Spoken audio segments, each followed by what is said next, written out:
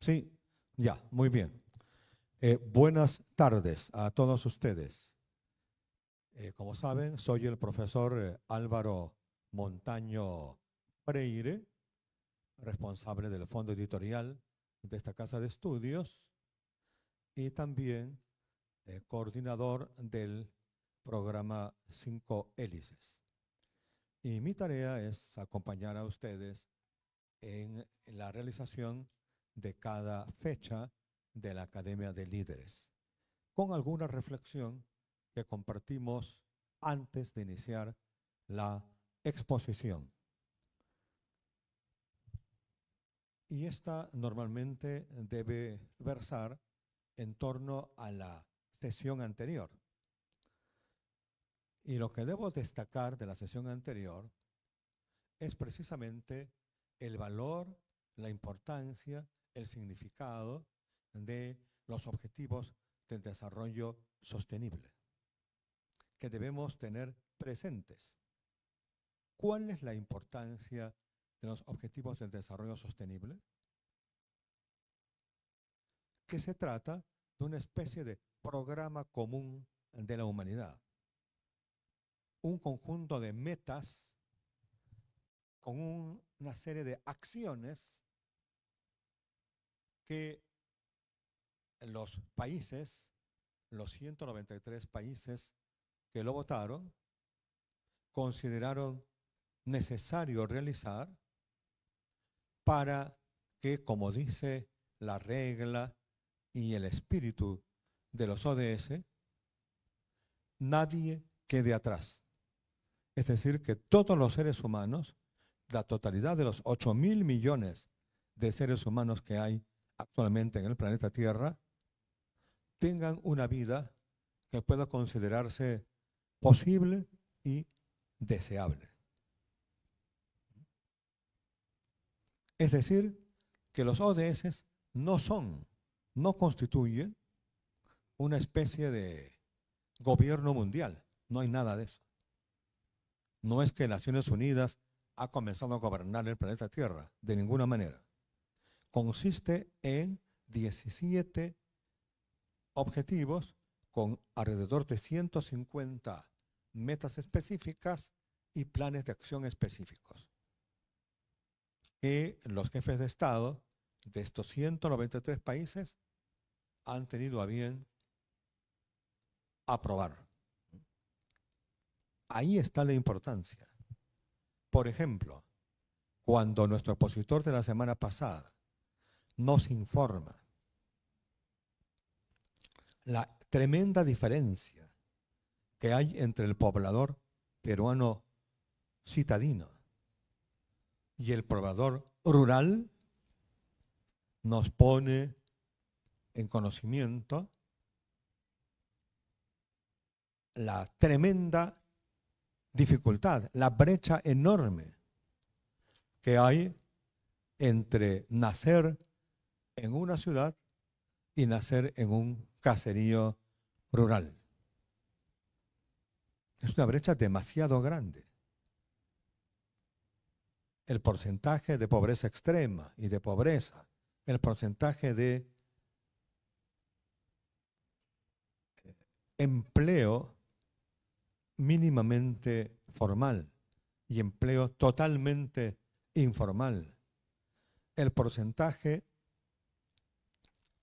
en cuanto a la calidad de la educación y la calidad de la salud son dramáticamente intolerables. Por ejemplo, ustedes han escuchado la semana pasada cuán grande es la diferencia en comprensión de lectura y comprensión de las matemáticas entre niños de segundo año de secundaria en todo el país. En general es deficiente. Pero en los casos de la población rural es bárbaramente insuficiente. Eso tomen nota. Eh, quiero dejarlo lo más claro que sea posible. Los objetivos del desarrollo sostenible, aprobados en la Asamblea de Naciones Unidas del año 2015 no son el programa de un gobierno mundial. No es que Naciones Unidas ha aprobado un presupuesto para aplicarlo en todos los países. Naciones Unidas no aprueba ningún presupuesto. Cada país tiene su propio presupuesto. Cada país tiene su propia política económica y social. Y por lo tanto, cuando estamos frente a los ODS, de lo que se trata es que nosotros, como peruanos, tenemos que establecer en nuestro país cuáles políticas son las que hay que promover. Y eso no es sencillo, porque naturalmente en vano sería que aumentáramos los impuestos tres o cuatro veces y entonces no quedase absolutamente nada para reinvertir. Eso no tendría sentido. Además que si realmente aumentáramos los impuestos de una manera salvaje, el porcentaje que ahora mismo es altísimo de gente que no paga impuestos se volvería cercano al 100%. Entonces no, no hay soluciones sencillas, no hay soluciones fáciles. Obviamente tampoco es una solución que las empresas no tengan impuestos, no tengan limitaciones ambientales, no haya sueldo mínimo, paguen lo que quieran, eh, contaminen como buenamente puedan y esto, no paguen impuestos. Ese modelo tampoco es viable. Es decir, una absoluta ausencia de reglas establecidas por el Estado tampoco es la solución. Las soluciones están siempre en los caminos intermedios. ¿Cuáles caminos intermedios pueden ser planteados por los peruanos para que efectivamente un sector cada vez mayor de los peruanos tenga niveles de vida razonablemente deseables y posibles. Esa meta tan enorme, tan grata, sí, hija, por favor, que bien, que se sientan adelante para que estemos cerca a nuestra expositora. Esa comprensión es la que tenemos que tener. Ustedes están formándose en una academia para líderes y tienen que saber que no hay soluciones fáciles. No puede ser solución todo para el Estado ni todo para la empresa. ¿Cuál es el punto medio, intermedio, que creemos razonable, sensato? Esa es la enorme tarea que ustedes, con su buen criterio, con su espíritu de desarrollo sostenible, tendrán que afrontar.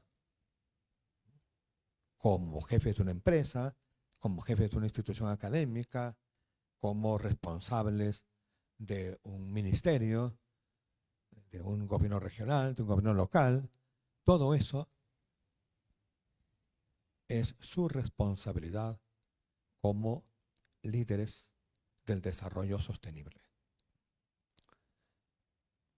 Eh, no lo hemos hecho antes, pero si alguno de ustedes tiene una pregunta que hacer, por favor, ¿alguna pregunta sobre lo que llevo diciendo? Con toda libertad. Allá, sí, por favor. Buenas tardes.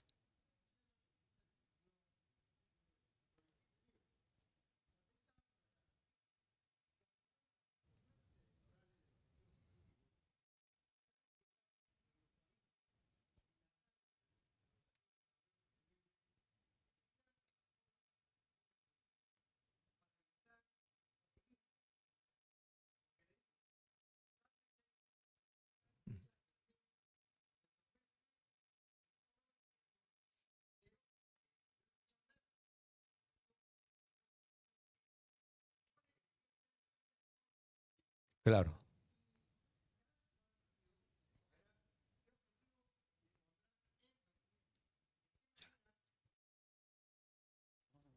Muy bien, bien, gracias.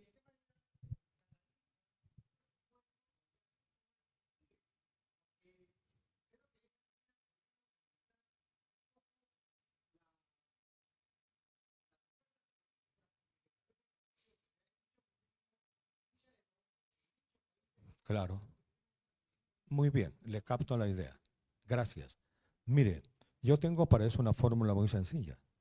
Cuando un político dice, por ejemplo, yo garantizo que en mi gobierno, en cada provincia, va a haber un hospital semejante al hospital del empleado acá en Lima del Rebagliate, que cuesta, pues, digamos, 200 millones de, de, dólares, el señor tiene que decir de dónde va a salir la plata para hacer su, su plan. De 1.500 o 1.800 hospitales como el Rebagliate en el Perú. Es obviamente imposible. El señor está, como dice usted, haciendo pura demagogia. Entonces, todos los candidatos deben decir no solo cuánto va a costar lo que ellos proponen hacer, sino también de dónde va a salir el dinero. Si el Estado gasta lo que no tiene, ya tenemos la horrible experiencia de 1985-90, que ustedes no vivieron porque no habían nacido, eh, pero cuenten, pregunten a sus padres, ¿no? La historia de la hiperinflación. ¿No es verdad? O sea, el Estado no debe gastar lo que no tiene. Tiene que gastar lo que tiene y no más. Ahorita mismo en Argentina está pasando eso. ¿Por qué la gente ha votado por unas ideas tan dementes como la del señor Milley? Por la inflación. Una inflación del 100% lleva la desesperación a la gente. Y entonces puede creer a un demagogo así llevado a la enésima potencia en cuanto a su individualismo, que dice que ya no debe haber impuestos, que no debe haber moneda nacional, que el Ministerio de Salud debe desaparecer, el Ministerio de Educación debe desaparecer, cosas tan dementes, la gente puede de alguna manera darles un pábulo de credibilidad por la superinflación. Entonces yo creo que lo que usted dice tiene mucho sentido. Muy bien, entonces vamos a entrar con la exposición del día de hoy. Yo voy a acercarme un instante a nuestra expositora y esto vamos a comenzar. Solo en un minuto, por favor. Es eh, un especial, una especial satisfacción presentar a la magíster Luz Fernández García, economista y jefa del equipo de ONU Perú. Eh, hemos tenido, y quiero destacar eso, un especial respaldo de la magíster Fernández desde el inicio, desde hace ya bastante tiempo, más de un año antes de que se pudiera pensar en el convenio, y tenemos por lo tanto una deuda, una ah, especial ah, responsabilidad con ella. Así que, ni más, tenemos que dejarla eh, con ustedes con un aplauso, pero realmente que demuestre ese cariño, ese afecto. Por favor. Muchísimas gracias y muy, muy buenas tardes. Mm, me han contado justo mientras estaba esperando para entrar que están en exámenes, ¿verdad? Entonces agradezco mucho el tiempo y el esfuerzo que están haciendo para, acompañarnos hoy en la tarde con esta, con esta Academia de Líderes. Sé que ya han estado, ¿verdad?, con, otros compañeros míos. Estuvieron la semana pasada, creo que estuvo Osvaldo, la anterior creo que estuvo Juan Pablo, ¿verdad? Entonces, igual eh, voy a empezar contando un poquitito eh, quién somos nosotros dentro del sistema de Naciones Unidas, porque muchas veces cuando se habla de la ONU, se habla de Naciones Unidas, se habla del sistema de Naciones Unidas, es algo como que suena un poco como etéreo, ¿verdad? Como que ¿qué, qué es eso? O sea, ¿qué es eso cuando hablamos de, de, Naciones Unidas? Entonces, para que entiendan bien quién les está hablando, quién les está acompañando en este, en este curso, yo quería explicarles un poquitito algo que me imagino que igual Igor, creo que nuestro embajador, también estuvo con ustedes, ¿verdad? Entonces, probablemente Igor les contó, un poquito, pero bueno, Igor es el embajador, es el coordinador residente de Naciones Unidas y mis colegas, Juan Pablo, Osvaldo, María Fernanda, que viene la semana que viene, yo, somos lo que se llama el equipo del coordinador residente. O sea, nosotros somos el equipo de Igor. ¿Y por qué el coordinador residente necesita un equipo? Bueno, el coordinador residente necesita un equipo porque aquí en Perú, nosotros, la familia de Naciones Unidas, tiene 22 agencias. Entonces, es como pueden ver, es, un universo grande, ¿verdad? De organizaciones. Algunas de ellas les van a sonar mucho, ¿no? Otras les van a sonar un poquito menos. Y cada una de nuestras agencias tiene su propio mandato, ¿verdad? Tiene su propia misión. Por ejemplo, tenemos la FAO, que es la Agencia de Naciones Unidas que trabaja con agricultura. Tenemos UNICEF, que es la Agencia de Naciones Unidas que trabaja con los niños. Tenemos el PNUD, que es la Agencia de Naciones Unidas que trabaja con desarrollo. Tenemos ACNURIO y EME, que son las agencias de Naciones Unidas que trabajan con refugiados y migrantes. Entonces, el rol que tiene la, oficina de la que yo soy, jefa de equipo, es precisamente garantizar que el, el, trabajo de estas 22 agencias, fondos y programas está adecuadamente articulado. ¿Y con qué finalidad? Bueno, la finalidad al final lo que queremos es ayudar al país a avanzar con la Agenda 2030 y los ODS. ¿Verdad? Y entiendo que ya saben un poquitín lo que son los ODS. Eh, Juan Pablo ya se los presentó, ¿verdad? Les presentó lo que son los Objetivos de Desarrollo Sostenible. Eh, la semana pasada Osvaldo ya les empezó a hablar un poquitito de, de, estos ODS más sociales, ¿verdad? Entonces mi misión para el día de hoy, yo vengo a hablarles un poquito más de la agenda ambiental, de todos estos objetivos de desarrollo sostenible que tienen una misión ambiental. Yo tenía una presentación que miro ya al fondo, creo que hay alguien que me puede ayudar a, a, poner por aquí la, la, presentación. Y en lo que me la van poniendo, les, les cuento porque me, me, estaban presentando como, como economista, ¿verdad? Y economista es un rol que yo tengo en Naciones Unidas, pero la realidad es que mi formación es ingeniero ambiental. ¿verdad? Entonces, aunque no sea lo que hago ahora mismo, aunque eh, aunque el tema ambiental es verdad que no es en lo que estoy trabajando ahora con Naciones Unidas, porque ahora lo que hago es ver más toda la agenda, ¿verdad? Nosotros ahora como parte del equipo de, del coordinador residente vemos todos los objetivos de desarrollo sostenible, pero es verdad que lo que vengo a contaros hoy, eh, hablar de los ODS ambientales, es donde está mi corazón, ¿verdad? Porque al final es de donde, es de donde yo vengo y es en lo que, en lo que me he formado, ¿verdad? Entonces, eh, espero que sea capaz de transmitiros la, pasión que yo tengo por esta, por esta temática. Si me ayudan, porfa, pasando a la siguiente diapositiva. Mm, perfecto. Bueno, y vamos, podemos ir pasando también a la siguiente. Entonces, si, como, como ya les contaron, eh, tenemos eh, 17 objetivos de desarrollo sostenible y esta imagen me imagino que ya se la puso también Juan Pablo y probablemente Osvaldo, pero es algo que es súper importante que no perdamos de vista cuando hablamos de los objetivos de desarrollo sostenible. Y es que están súper relacionados. Es decir, no podemos pensar en los objetivos de desarrollo sostenible como algo aislado. El, cumplir con uno, para poder alcanzar uno, es necesario que alcancemos un paquete de otros más. Entonces, esto es algo que, sí que me parece muy importante no verlos como silos, ¿verdad? No verlos como, como cosas aisladas. Y con esta lógica, y si pasamos a la siguiente, por favor, me imagino que también les han contado que hay una manera de clasificar los objetivos de desarrollo sostenible que son las cinco Ps, ¿verdad? Que serían las personas, el planeta, prosperidad, paz y eh, las alianzas, ¿verdad? El partenariado. Entonces, Osvaldo ya les había hablado de todo el bloque de, personas y algo del bloque de prosperidad. Y estos se mezclaban un poquito por lo que les contaba, por, estos links, ¿verdad? Por estos vínculos que existen entre los diferentes eh, objetivos. Entonces, yo hoy vengo a hablarles de todos los que tienen que ver con planeta y con algunos de los de prosperidad, como por ejemplo el de energía, el de desarrollo industrial y el de ciudades sostenibles, porque como les voy a ir contando, tienen fuertes vínculos con temas ambientales. Entonces, esto sería el, el, corazón de lo que vamos a estar viendo hoy. Si pasamos a la, a la siguiente, por favor. Y eh, para, para, contarles de dónde salen los datos, ¿verdad? Porque sé que, que, ustedes son chicos bien aplicados, entonces igual quieren saber de dónde sale toda la información que les voy a ir presentando. Nosotros como, sistema de Naciones Unidas en el Perú, y cuando hablo del sistema de Naciones Unidas me refiero a estas 22 agencias, fondos y programas que les contaba que nosotros tenemos aquí en el país, bueno, pues como sistema publicamos una cosa que nosotros llamamos el análisis común de las Naciones Unidas en el Perú.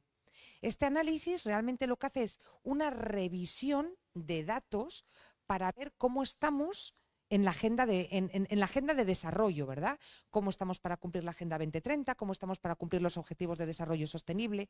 Y nosotros hacemos estos informes una vez cada cinco años, ¿vale? Entonces, el, el, el informe último que hicimos fue en marzo de 2021 pero además de hacer los, los, informes, nosotros lo que hacemos es hacer actualizaciones anuales.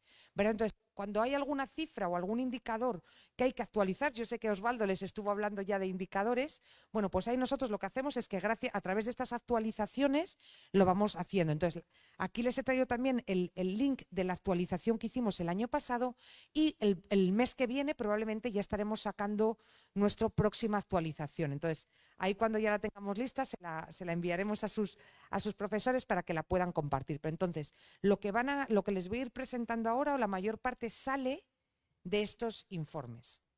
Si pasamos a la siguiente, por favor. Me voy a quitar la, chaqueta, que aquí con las luces me va dando calor.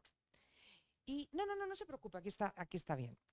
Entonces, el, primero de los objetivos de desarrollo sostenible que tendríamos para ver hoy sería el objetivo de desarrollo sostenible 6, que es un objetivo enfocado en agua y saneamiento. Este es un objetivo que, que en Perú es muy particular porque podríamos decir que es un objetivo en el que estamos avanzando bien si vemos las cifras en grande, ¿verdad? Y aquí, por ejemplo, pueden ver que ya para 2019 el más del 90% de los, de los hogares, ¿verdad? Tenía agua eh, que llegaba a, la llave, ¿verdad? El 90%. Y además podríamos decir que el, el 75% de los hogares tenían saneamiento en sus casas. Entonces, si vemos estas cifras, si las vemos agregadas, podríamos decir, ah, pues estamos bien, ¿no? No estamos tan mal, ahí estamos avanzando. El problema es cuando hacemos zoom en las, en las cifras y no vemos necesariamente solamente la cantidad, sino también vamos a ver la calidad de, estas, de, lo que hay por detrás. Entonces, por ejemplo, lo que vemos es que a pesar de que el 90% sí que podría tener agua en sus llaves, este agua no necesariamente llega todos los días. ¿verdad? Y además ni siquiera es agua que se pueda considerar de forma segura. Es decir, es agua que no es apta para el consumo humano, es, agua que, no reúne determinadas condiciones. Y además, si vamos a ver la diferencia que hay entre las áreas urbanas y las áreas rurales, vemos gigantescas diferencias, ¿verdad? Por ejemplo, en el tema del, saneamiento. Mientras que en áreas urbanas casi el 90% de la población tiene saneamiento, cuando vamos a áreas rurales, 20% de la población tiene acceso a saneamiento. Entonces, esto es una cosa que es muy importante y, y, que me gustaría que, me imagino que Osvaldo también lo mencionó, pero creo que es muy importante que lo tengan en su radar cuando alguien les presente cifras, ¿verdad? Siempre hay que ver la historia detrás del número porque los números agregados no cuentan la historia completa. No nos están dando la foto real de un país, en especial de un país como el Perú. ¿verdad? Es un país muy diverso, es un país con grandes diferencias, como ustedes saben, es un país en el que de lo que pasa en Lima a lo que pasa en la selva son dos realidades, dos mundos totalmente diferentes, de a lo que pasa en la sierra. Entonces, realmente sí les animo a que cuando ustedes vean cifras, ¿verdad? Para algo que tiene que ver con, la realidad peruana, siempre intenten verlas desagregadas. ¿verdad? Porque aquí estamos viéndolas, por ejemplo, por urbano y rural, pero para muchos indicadores, si lo empiezas a ver, por ejemplo, la diferencia entre mujeres y hombres, o entre personas para diferentes eh, razas, o para, o sea, cuando empiezas a entrar en ese detalle, es cuando empiezas a ver que realmente no todos los problemas están solucionados, ¿verdad? Entonces, Ahí creo que este, es uno, este indicador es uno de los que claramente se puede ver esto. Este es un indicador interesante también por, otro tema. Es un, es un, perdón, es un, objetivo que, nos, tiene un indicador vinculado con el uso eficiente del agua. ¿verdad? Entonces, si vemos, eh, aquí por ejemplo podríamos decir, jo, pues lo estamos haciendo muy bien, ¿verdad? Porque entre, en los últimos años el uso eficiente del agua ha ido mejorando. Sin embargo, si nos fijamos qué es lo que ha ido mejorando, vemos en qué sectores, por ejemplo, vemos que en el sector servicios eh, la eficiencia del uso del agua es muy grande, mientras que si vamos a agricultura es muy, muy baja. Y el tema de la agricultura en Perú es un tema súper importante, porque como vamos a ir viendo un poco más adelante y como ya les contó probablemente Osvaldo con el, Objetivo de Desarrollo Sostenible 2 de hambre cero, Perú es un país en el cual hay mucha agricultura familiar, y es un país en el cual estos agricultores están teniendo grandes desafíos, ¿verdad? Que hacen que ahora mismo tengamos más de la mitad del país en riesgo de inseguridad alimentaria. La inseguridad alimentaria del Perú está a niveles de los países africanos. No hay ningún otro país en Sudamérica que tenga el mismo riesgo de inseguridad alimentaria que tiene el Perú, ¿verdad? Entonces, todo el tema, todo lo que tiene que ver con la agricultura es súper importante porque forma parte, ¿verdad?, como del mismo ecosistema. Otra cosa interesante que pasa con este, con este indicador es todo lo que tiene que ver con, estrés hídrico, ¿verdad? Porque aquí si ven, o sea, eh, de nuevo, Perú es un, país en el cual hay zonas que tienen mucha agua y zonas que no tienen tanta agua. Y curiosamente, donde más agua se consume, donde más personas viven, es precisamente donde menos agua hay. Entonces, por ejemplo, si vemos el estrés hídrico de las diferentes cuencas del país, podríamos decir que en la cuenca del Amazonas o en la del Titicaca prácticamente no hay estrés hídrico. Sin embargo, si vemos lo que pasa en el Pacífico, sí que podríamos hablar de que existe un estrés hídrico importante. Entonces, este, este, este indicador me parece muy interesante por lo, que les digo, ¿no? porque creo que permite ver muy bien que los números agregados no nos cuentan la historia completa de lo que pasa en el, país. Si pasamos a la, siguiente, por favor. Algo muy, algo muy, parecido pasa con el, con el, ODS de energía, ¿verdad? De energía renovable. Este es un ODS que, que eh, es, es, es, interesante, ¿verdad? Porque a pesar de que aquí está enfocado o sea, está enfocado desde la perspectiva de energía, es un ODS clave, por ejemplo, para el ODS de cambio climático. ¿verdad? Si se fijan, bajo este ODS estaríamos hablando de las energías renovables. Y eh, el tema de, energías renovables es clave para reducir emisiones. Y la reducción de emisiones es una estrategia de mitigación al cambio climático. Entonces, aunque hay un ODS específico para cambio climático, como os contaba al principio, ¿verdad?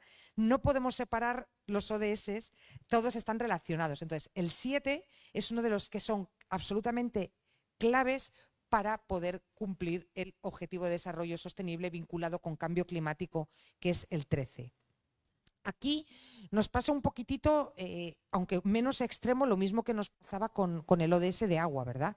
En general, las cifras que tenemos de acceso son buenas, es decir, en Perú se podría decir, bueno, más del 95% de la población tiene acceso a electricidad, sin embargo, luego hay que ver de nuevo la calidad, ¿verdad? Si esa luz se corta o no se corta y cómo se distribuye entre zonas urbanas y rurales, que aquí también hay importantes diferencias. Una cosa eh, en, donde se puede ver, por ejemplo, muy claro el tema de las diferencias es que, por ejemplo, eh, Perú es un país dentro de América Latina en los cuales algo positivo es que no se, cocina bastante con lo que llamaríamos eh, tecnologías limpias, ¿verdad? O sea, no se usa tanto la leña o el carbón vegetal para cocinar. No es tan común como en otros países de la región. Estaríamos hablando de que el 77% de la población cocina con tecnologías limpias. Sin embargo, cuando vemos la foto, de nuevo, cómo se diferencia entre urbano y rural, vemos que en la parte rural solamente tienen acceso a tecnologías limpias el 25% de la población. Entonces, de nuevo, como os contaba, este es un ODS que comparte con el ODS de agua eso, ¿verdad? El que hay que ver la foto en, en pequeña. Perdón, en grande. Y en este ODS también vemos el tema de la participación de las renovables en lo que sería la, matriz energética nacional. Y como podéis ver, aunque ha mejorado, porque en el 2011 no había ni un 1% y ya en el 2020 casi teníamos un 6%, la realidad es que de un 6 a, por ejemplo, un 97% que hay en Brasil, todavía hay un camino grande que, que, recorrer, ¿verdad? Luego es verdad que depende de muchas cosas. Por ejemplo, Brasil es que prácticamente todo es hidroeléctricas. Eso en Perú no sería posible porque son otras características geográficas. Pero sí es cierto que todavía en, todo este tema de potenciar las renovables, Perú todavía tiene un largo, un largo camino por, por, delante. Si pasamos, por favor, al, siguiente. Y voy a pedir, porfa, no sé quién hay aquí de los organizadores, yo lo había comentado, voy a necesitar una botellita de agua. yo bebo muchísima agua, entonces necesito que, porfa, alguien me consiga una botellita de agua. Eh, perfecto. Este es el, objetivo de desarrollo sostenible que tiene que ver con temas industriales y de infraestructura. El tema de las infraestructuras en Perú es, es un tema súper importante porque no creo que cuente algo que ustedes no saben cuando les cuento que hay un déficit fuerte en las infraestructuras peruanas, ¿verdad? O sea, eh, de hecho, lo que vemos es que para cerrar la brecha de infraestructura que existe actualmente, se tendría que usar el 2% del PIB del PBI perdón, durante los próximos 20 años. O sea, realmente hablamos de una brecha muy, muy fuerte y que tiene impactos prácticamente en todos los otros ODS. Y voy a poner ejemplos. O sea, por ejemplo, ¿cómo podemos hablar eh, del ODS de salud, verdad? ¿Cómo vamos a poder tener una adecuada salud si nuestra infraestructura hospitalaria no está en condiciones adecuadas? ¿O cómo vamos a poder eh, garantizar el hambre cero si ahora mismo prácticamente eh, se pierde la mitad de lo que se cosecha en transporte? Porque desde que sale del campo hasta que llega a donde se comercializa la alimentación, las carreteras son tan malas que se va perdiendo la alimentación mientras va avanzando mientras se va transportando la comida. Entonces, pues por eso que este objetivo de desarrollo sostenible, este que tiene que ver tanto la industria, la innovación y la infraestructura, hago mucho énfasis en la parte de, infraestructura porque definitivamente aquí Perú tiene mucho, mucho, mucho camino que recorrer. Y creo que, en una de las cosas claves que está vinculada con esto que les contaba, cómo los alimentos se pueden ir desperdiciando, ¿verdad? Mientras en el camino que recorren desde donde se recogen hasta donde se comercializan es el tema de las vías pavimentadas. ¿Verdad? Las carreteras que están pavimentadas. Si vemos de nuevo las cifras grandes a nivel nacional, pues está bien, ¿no? La red vial nacional tendríamos casi el 80% pavimentado. Pero ¿qué pasa cuando empieza uno a ver qué pasa más en la pequeña escala, ¿no? Bueno, pues que para la red vial departamental está pavimentado el 13%. Pero es que cuando nos vamos a las redes vecinales o rurales, el 1.5%, 1.6% está pavimentado. Entonces, ciertamente, de nuevo, esto influye en muchas cosas. Esto influye que cuando hay una emergencia, si se quiere trasladar a una persona a un hospital, si estás en una red vecinal, es que igual no llegas al hospital. Porque igual el tiempo que tardas en llegar, ya la persona no llega, ¿verdad?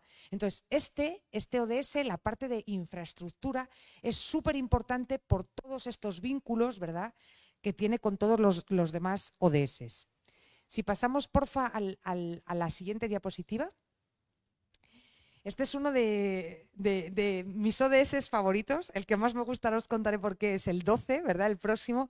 Pero este me parece un ODS muy interesante porque eh, el ODS de ciudades y comunidades sostenibles engloba muchas cosas, ¿verdad? Porque al final eh, es, eh, recoge en donde, donde nosotros vivimos, ¿no? O sea, al final vivimos en ciudades, vivimos en comunidades. Entonces, este ODS lo que busca es hacer los lugares que habitamos realmente habitables. Y aquí, y para este ODS, eh, os, voy a contar una cosa que a mí me llamó mucho la atención porque desconocía totalmente. Antes de trabajar aquí con Naciones Unidas en Perú, yo trabajaba con Naciones Unidas en Tailandia. Entonces, para salir a la calle en Tailandia, antes del COVID, era normal salir con mascarilla. Y salíamos a la calle con mascarilla por la, por la contaminación, eh, la gran contaminación que hay eh, atmosférica, ¿verdad? entonces tú te levantabas por la mañana, muchísimas gracias. Tú te levantabas por la mañana en Bangkok, tú cogías tu móvil, mirabas en la app la calidad del aire y dependiendo de la calidad del aire yo me ponía una mascarilla diferente con un filtro diferente. Entonces, ese era mi día a día en Bangkok y para mí cuando yo me venía a Lima me venía una realidad absolutamente diferente. ¿Cuál es mi sorpresa cuando un día no sé por qué me meto en mi app a ver la calidad de aire en Lima y era prácticamente la misma que la de Bangkok? Y uy, qué raro, me debo estar equivocando, tengo que estar viendo mal. Y me puse a investigar y no. Lima es la ciudad de todo América, América, con mayor contaminación atmosférica. No hay ninguna ciudad en todo Europa ni América que tenga la contaminación ambiental que tiene Lima. Es comparable a los niveles de Asia y de África. Entonces, realmente, aquí el tema de la calidad del aire es un tema en el que hay mucho, mucho, mucho trabajo por, por hacer, porque realmente el aire que, respiramos influye muchísimo en nuestra salud. Entonces aquí de nuevo tenemos otro vínculo entre ODS, ¿verdad? Este ODS con el tema de calidad, del aire está totalmente relacionado con el ODS de, salud y con el ODS de otros ODS ambientales, ¿verdad? Entonces, esto, es, una cosa que a mí me parece interesante. Otra cosa que me, parece interesante de, este, este mm, ODS que es un fenómeno que pasa en Perú, pero no solamente en Perú, es como la, población se va volviendo cada vez más urbana. ¿verdad? O sea, esto es una. en Naciones Unidas lo llamamos megatendencias, ¿verdad? Llamamos megatendencias a estas cosas que suceden no en un país, sino prácticamente en todos. Y el hecho de que eh, cada vez más área o más población rural se desplace a poblaciones urbanas es algo que, de nuevo, no pasa solamente aquí. Entonces, eh, ahora mismo en, Perú, bueno, ahora mismo no, las últimas cifras que había eran para 2017, teníamos ya casi un 80% de población viviendo en áreas urbanas, ¿verdad? Entonces, esto es una cosa que de nuevo hay, que tener en cuenta, hay que conocer, porque influye en muchas otras cosas. Por ejemplo, en una de las cosas interesantes en las que, influye es en el tema de pobreza. Hasta hace relativamente poco, cuando se hablaba de, de pobreza en Perú, se hablaba de pobreza rural, ¿verdad? Y, todas las cifras, las, cifras como más escandalosas, eran dentro del ámbito de pobreza rural, pero ya no. Ahora cuando se habla de pobreza se habla mucho, no es que no haya pobreza rural, la hay, pero ahora también hay mucho énfasis en la pobreza urbana, porque es la que se ha ido disparando, ¿verdad? Entonces, este tema, esta, esta gran megatendencia, es algo que cuando uno trabaja con temas de desarrollo no puede no ver, ¿verdad? Es algo que es súper importante tener en cuenta. Y otra cosa eh, interesante, ¿verdad?, a, tener en cuenta, porque la cifra es, mala, es el tema de, las condiciones de las viviendas, ¿verdad? O sea, casi la mitad de la población de Perú vive en, viviendas que, en condiciones que no son adecuadas. Condiciones que no son adecuadas puede ser por muchas cosas, ¿no? Puede ser porque el suelo sea de tierra, puede ser porque no tenga un, acceso a, saneamiento, porque no haya agua en la llave. O sea, cuando hablamos de condiciones eh, inadecuadas podemos hablar de distintas cosas, pero es cierto que hablamos del 50%.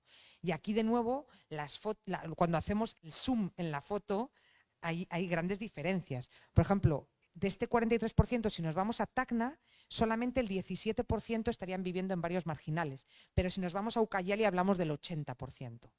Entonces, de nuevo, Perú es un, es un país en el, cual, en el cual hay muchas desigualdades y cuando trabajamos, o las personas que trabajamos con temas de desarrollo, cuando intentamos ver cómo avanza el país para los ODS, no podemos ignorar estas, desigualdades, ¿verdad? Porque si no, de nuevo, nos estaríamos quedando con una foto que no es real. Si pasamos a la siguiente, por favor.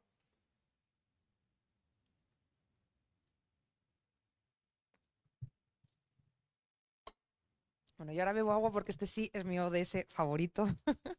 este es el ODS que de verdad eh, espero transmitiros por qué creo que es, que es tan importante, porque para mí lo que podemos, muchas veces me preguntan, ¿qué puede hacer uno o no por los ODS? ¿Cómo cada uno contribuimos? Para mí, lo que se puede contribuir está bajo este ODS. ¿Y por qué está bajo este ODS? Este ODS se llama producción y consumo responsables.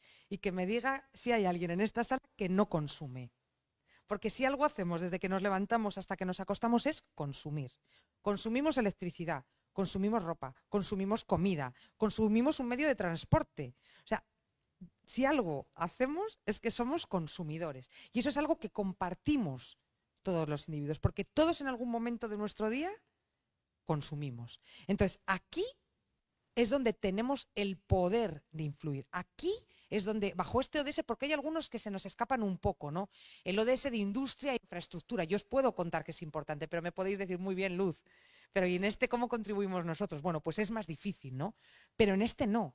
En este ODS 12 hay muchas cosas que podemos hacer. Y probablemente la más importante que podemos hacer es esta que veis aquí, el tema de desperdicio de alimentos. En Perú se desperdicia el 33% de la comida. 33%. O sea, el 33% de los alimentos que se producen se desperdician. Estamos hablando de esto cuando os acabo de contar que la inseguridad alimentaria en Perú es la más alta de toda América del Sur.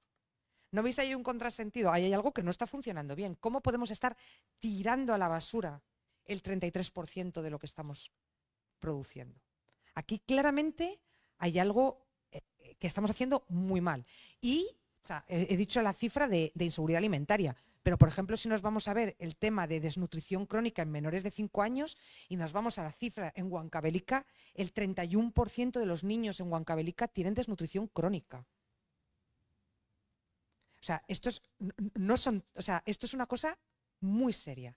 Y si esto lo comparamos de nuevo, con que estamos tirando el 33%. O lo comparamos con que Perú, no nos olvidemos, tiene cinco de los mejores restaurantes en la lista de los 20 mejores restaurantes del mundo. El primer restaurante del mundo es peruano. ¿Cómo puede ser que estemos diciendo que tenemos la mejor comida del mundo al mismo tiempo que estemos diciendo que tenemos la mayor inseguridad alimentaria de toda, América del Sur y por otro lado que estamos tirando el 33% de la comida? Y en esto, en esto del desperdicio de alimentos, podemos hacer cosas. Y ahora tengo unas diapositivas en las que vamos a ver un poquito más sobre, sobre esto. Pero entonces, como decía, para mí este ODS es clave porque está este tema y además hay otro tema en el cual también todos tenemos algo que contribuir, que es el tema del reciclaje, ¿verdad? Los temas de, reciclaje también se incorporan bajo el ODS 12, también se ven desde la perspectiva de, de la producción y el consumo responsables y en, Perú se está reciclando menos del 5% de los residuos. Entonces, es, es una cifra muy baja. Muy baja, muy baja, muy baja, muy baja, muy baja. Entonces, realmente, y bueno, y de este 5%, 3.5% que se recicla, el 57% se recicla de manera informal.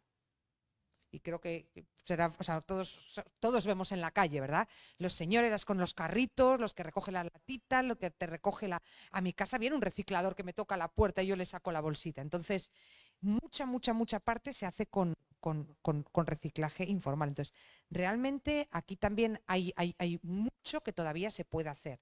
Para mí, eh, el reciclaje ciertamente no es la solución a todos los problemas ambientales como nos intentaron vender, pero sí forma parte de la solución. O sea, no es la solución, pero forma parte. Pero es cierto que antes de llegar al reciclaje, y aquí de nuevo os animo mucho, porque creo que hay mucho que cada uno de ustedes eh, eh, puede hacer, es en reducir lo que convertimos en residuos creo que ahí hay un acto fuerte de, responsabilidad individual y de nuevo, por eso me parece que este es uno de esos en el que podemos hacer cosas, porque eso lo podemos hacer. Cuando uno va al supermercado puede decidir si coge o no una bolsa que no necesita. Cuando uno va al supermercado puede decidir si compra un producto que viene con tres cajas, dos envoltorios y luego tres celofanes o si compra uno que va con un embalaje más sencillo. Esas son decisiones que nosotros podemos tomar. Entonces, os animo a, de nuevo, que cada vez que vayáis al supermercado y os enfrentéis a las filas interminables de productos, intentéis hacer un, o sea, pensar de manera responsable, ¿verdad? Pensar que esa compra está teniendo un impacto. Está teniendo un impacto de, diferentes maneras, ¿verdad? Entonces, eh, por no hablar, que creo que lo tengo un poco más adelante en la presentación, del impacto que tiene cuando compramos ropa.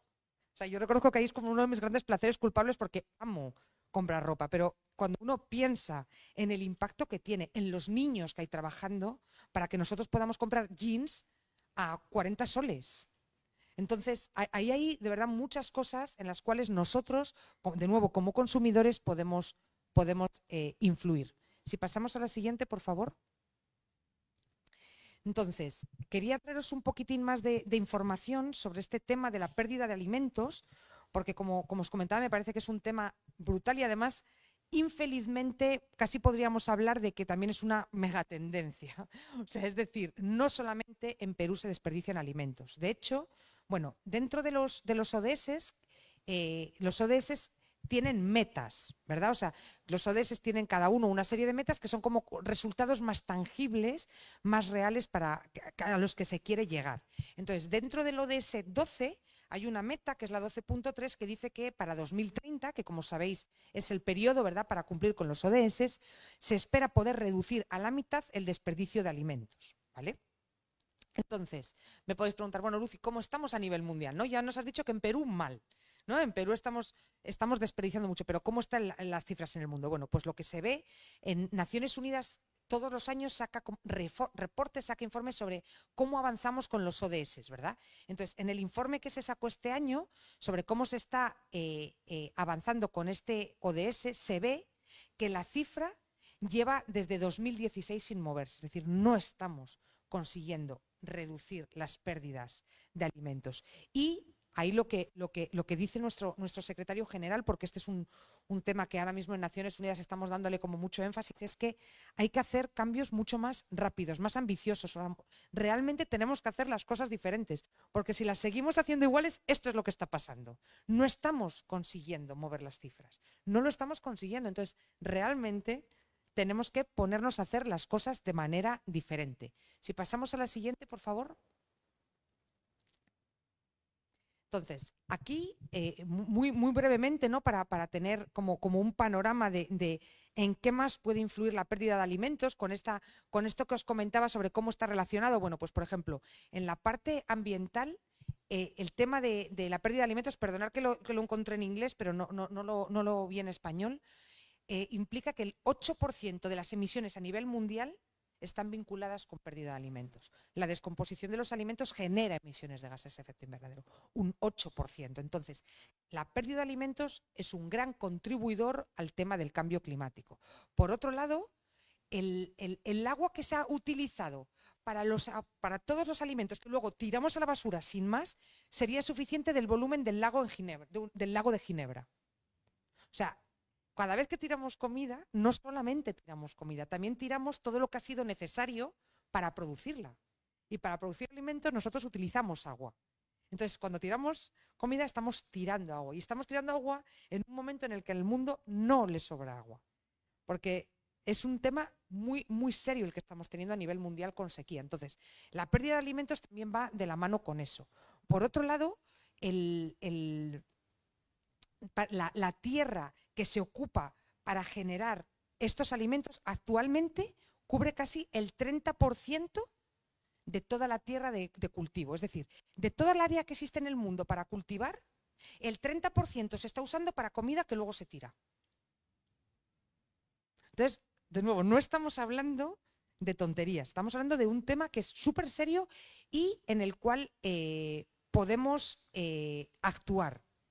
Y luego, lo que, lo que, se, lo que dicen los escenarios, las estimaciones, es que si no tiráramos, o sea, si se manejara mejor la distribución de la comida, esto que os contaba, ¿no? De que aquí en Perú hay un tema muy grande desde que tú consigues recoger tu, tu, tus, tus productos de la agricultura familiar hasta que finalmente se comercializan, se pasan todo el tiempo en un transporte para arriba y para abajo. Si eso se mejorara, hasta el 14% de todas las emisiones vinculadas a agricultura se reducirían.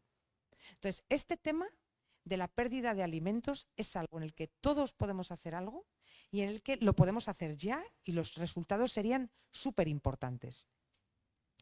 Eh, bueno, aquí esta diapositiva trae un poquito eh, algunos temas de estos que estábamos viendo, ¿no? Por ejemplo, esto que os contaba, ¿no? ¿Qué hay detrás de la comida? Bueno, detrás de la comida hay agua, detrás de la comida hay fertilizantes, detrás de la comida hay espacios para el cultivo, detrás de la comida hay volumen en vertedero, porque si lo tiramos hay que hacer algo con ello, con lo cual estamos ocupando volumen en un vertedero, ¿verdad? Entonces, todas estas cosas las tenemos que pensar cada vez que nos parezca que nuestro tomate está feo y que ya no nos lo queremos comer. Porque muchas veces es lo que hacemos, que está feo y ya... Mm, es que se me puso el, plátano está marrón, ya no lo quiero comer. O una cosa que es súper perversa que es este tema del best before. no sé si os habéis fijado muchos empaques, ¿verdad? Pone consumir preferentemente antes de. Bueno, pues espero que no seáis como mi madre. Mi madre si ve consumir preferentemente antes del 1 de abril, como sea 1 de abril, lo tira directamente a la basura. yo, mamá, preferentemente, ¿qué no entiendes del preferentemente? No significa que esté malo. De hecho, en Europa estas etiquetas las están prohibiendo. En Europa ya no puedes poner el preferentemente antes de. ¿Por qué? Porque hace que la gente tire a la basura comida que se puede comer. ¿Cómo que preferentemente antes de una lechuga? Tú ves si la lechuga se puede comer o no se puede comer. Ah, o tú, abres la, tú abres la nevera y tú no sabes si tu lechuga se puede comer o no. Porque en la etiqueta ponga que hace tres días el preferentemente no significa que la tengas que tirar a la papelera. Entonces, por favor, chicas y chicos, piensen en esto bien, sean consumidores responsables, porque de verdad que en esto hay mucho impacto que se puede hacer. Lo mismo en el, consumir productos locales. Cuando yo voy al supermercado en España, España es un gran productor de naranjas, un gran productor de naranjas. Naranjas de China. ¿Cómo que naranjas de China? No compro naranjas de China en España. No por nada, pero es que las producimos nosotros. Es que tampoco las compro de Italia. ¿Por qué vamos? O sea, hay que hacer un consumo responsable, hay que hacer un consumo de productos locales. Entonces, de nuevo, os, animo, ¿verdad?, a, que penséis las distintas maneras, y hay muchos lugares en donde hay información sobre esto. Yo al final traigo unos cuantos links en las cuales, cuando os enfrentéis a esta toma de decisiones, podáis tomar decisiones más responsables. Si pasamos a la siguiente, por favor.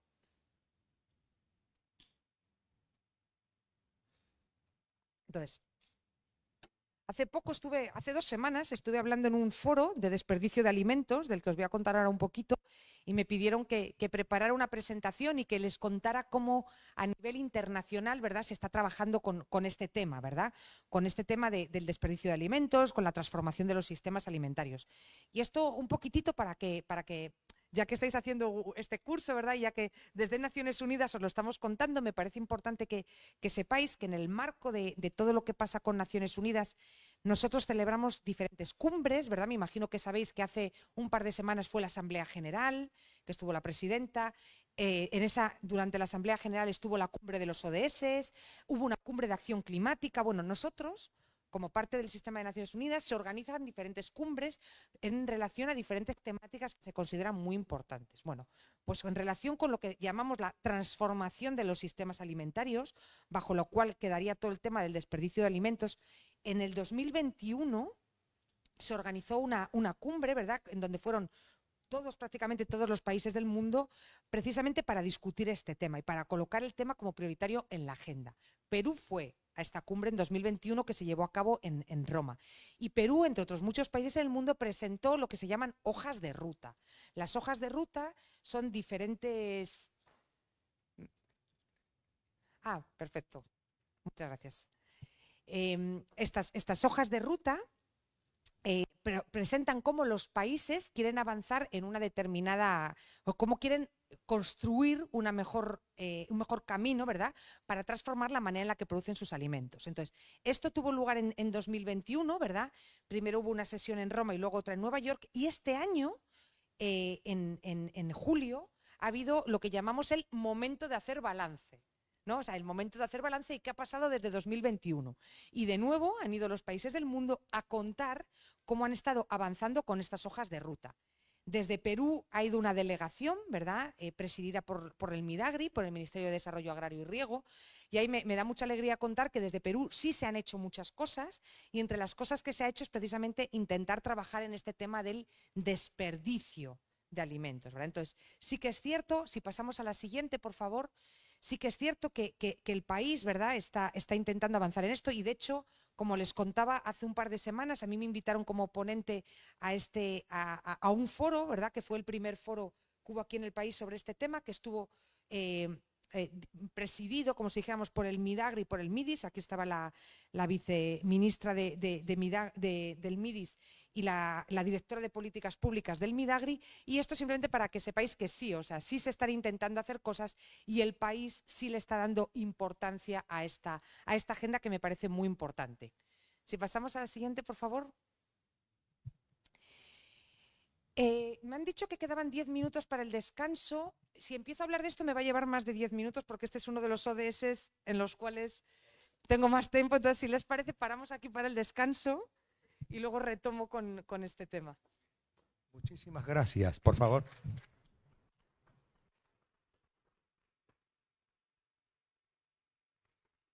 Aquí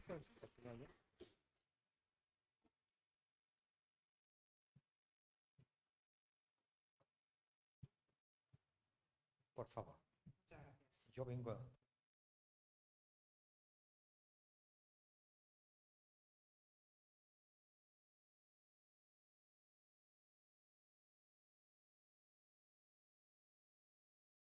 Para explicar algo fundamental, es decir, cómo llevar, cómo avanzar en las propuestas. Ustedes saben que hay tres planos de esta Academia de Líderes.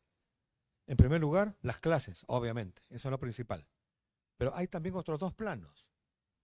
Es el plano de la acción social, que se va a re, eh, concretar en la donación de sangre del día 17 de noviembre, creo, ¿no? 17 de noviembre. Donación de sangre a nivel nacional. En este momento nos están siguiendo 1.800 personas. De verdad que estamos muy agradecidos con todos los que nos están siguiendo. 1.800 personas en estos instantes y con todos ellos vamos a hacer la donación de sangre a nivel nacional. Pero el tercer espacio, particularmente importante, es la propuesta al país. Eh, nuestra muy querida Melissa Ricra, la responsable de gestión ambiental aquí en la UNI, nos va a explicar cómo van a hacer estas propuestas. Por favor.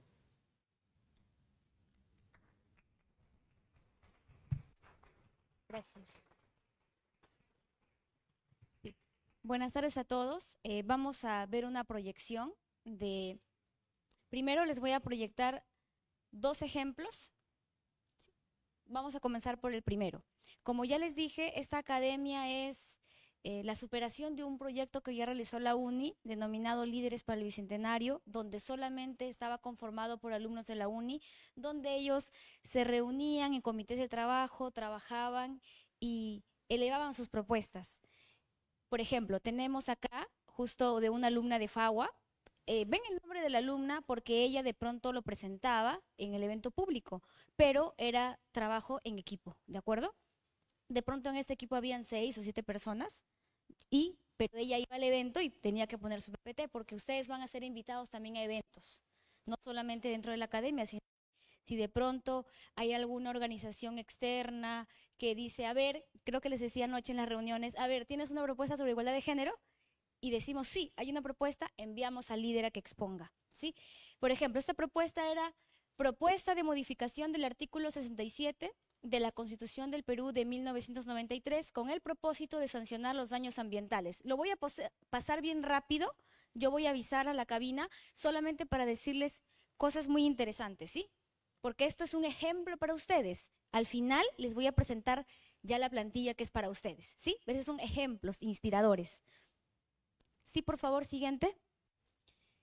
Como ya les había dicho en las reuniones, siempre se comienza por una problemática. Ustedes tienen que saber qué está mal y a qué quieren dar solución, ¿no? Porque se supone que algo está mal que inspira que ustedes quieran generar un cambio. En este caso, la señorita y su equipo encontraron un problema, ¿sí? Siguiente, por favor. Los objetivos. Los objetivos de la propuesta, ¿qué era? modificar el artículo de la Constitución, ¿cierto? Entonces, primero se coloca el artículo como está en el presente, después colocas qué es lo que quieres que diga en el artículo. En este caso, quería que se sancione los daños ambientales, ¿no? Porque en la Constitución no se sancionaba los daños ambientales. Entonces, ¿cómo decía el artículo, cómo dice hasta ahora, perdón? El Estado determina la política nacional del ambiente, promueve el uso sostenible de los recursos naturales. Nada más cómo pretendían los líderes para el Bicentenario que diga el artículo. El Estado determina la política nacional del ambiente, promueve el uso sostenible de, sus recursos naturales y vela por la preservación y conservación del ecosistema, la biodiversidad y la integridad del patrimonio genético del país. Además, debe prevenir y controlar los factores de deterioro ambiental, estableciendo sanciones legales y exigiendo la reparación de los daños causados. Explícitamente se habla de las sanciones a los daños ambientales. ¿De acuerdo?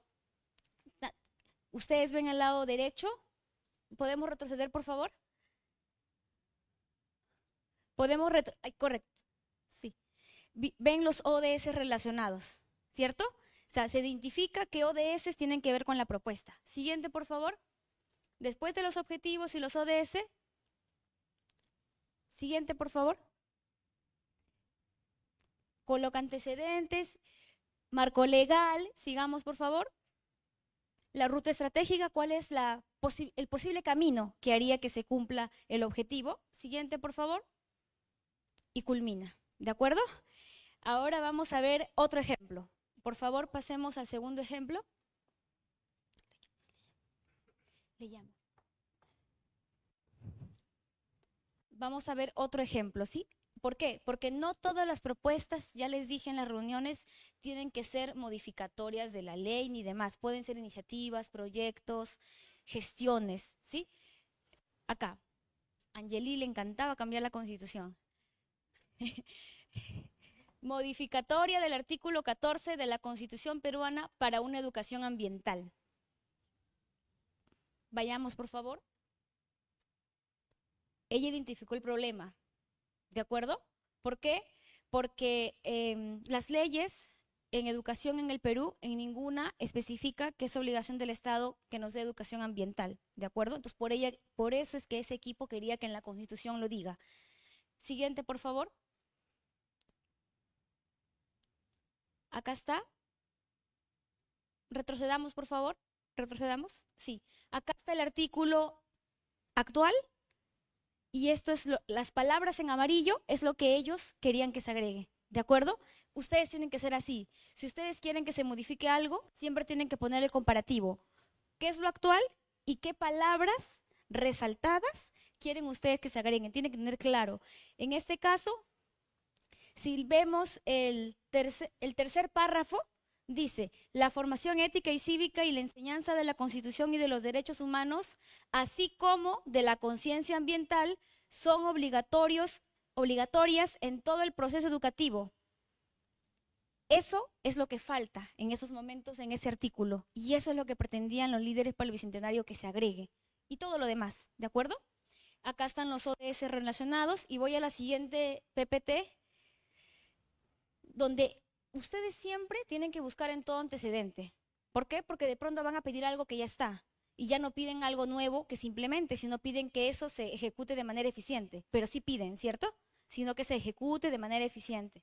Ya, acá hay un ejemplo de cómo cuando buscan los antecedentes, no solamente se busca de proyectos eh, que se dieron inicio, que se frustraron o que fueron intentos en el país, sino también antecedentes a nivel internacional, mundial.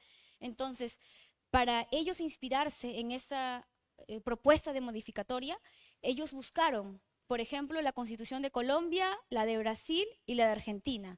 Entonces, ustedes tienen que tener de verdad bastante trabajo de gabinete y buscar, por ejemplo, vamos a ir a la Constitución de Brasil, al artículo 225, inciso 6, ahí lo van a proyectar. Es decir, ustedes tienen que realmente buscar las constituciones en Internet y encontrar de documentos eh, verdaderos, ¿de acuerdo? No es que ustedes pueden, em, tienen que buscar eh, páginas fiables, ¿de acuerdo? Por ejemplo, el de acá es de una página oficial del gobierno y acá tenemos el artículo 225 en el capítulo de medio ambiente de la Constitución de Brasil y tenemos que ir al inciso 6. ¿Podemos bajar, por favor? Acá está. Es decir, los líderes encontraron la propia Constitución de Brasil, la leyeron y se basaron en esto como antecedente. O sea, ustedes tienen que inspirarse en cosas reales, tienen que hacer una búsqueda muy certera en Internet, ¿de acuerdo? Por favor, continuemos con la PPT.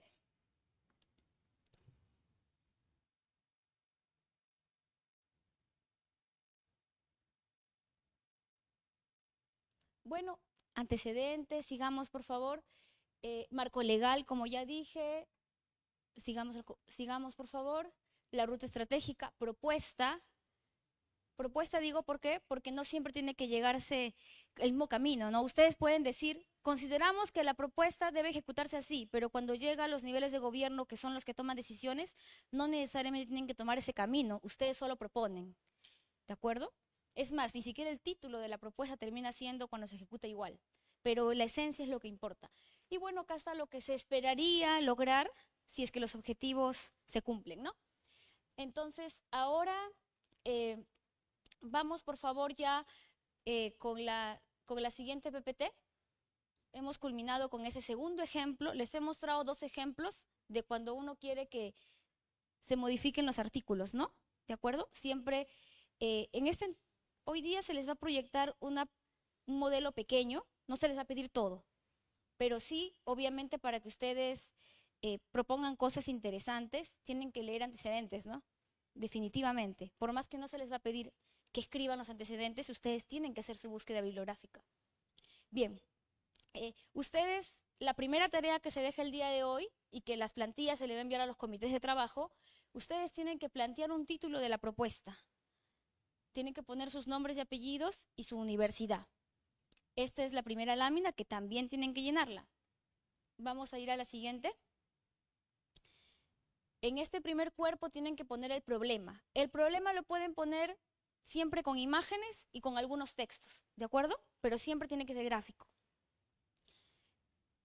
El siguiente, la siguiente lámina viene a ser los objetivos, ¿sí? ¿Qué, ¿Qué, persiguen con esta propuesta?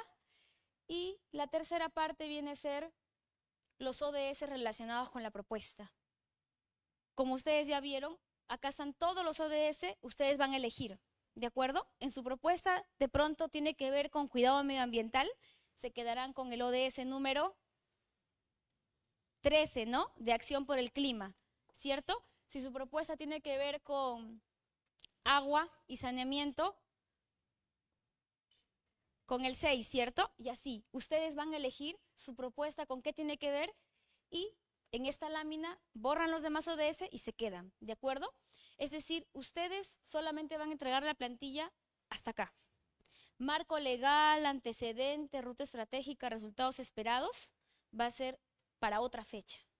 ¿Por qué? Porque estas propuestas tienen que pasar una revisión y hay que ver eh, cuáles pasan a la siguiente fase.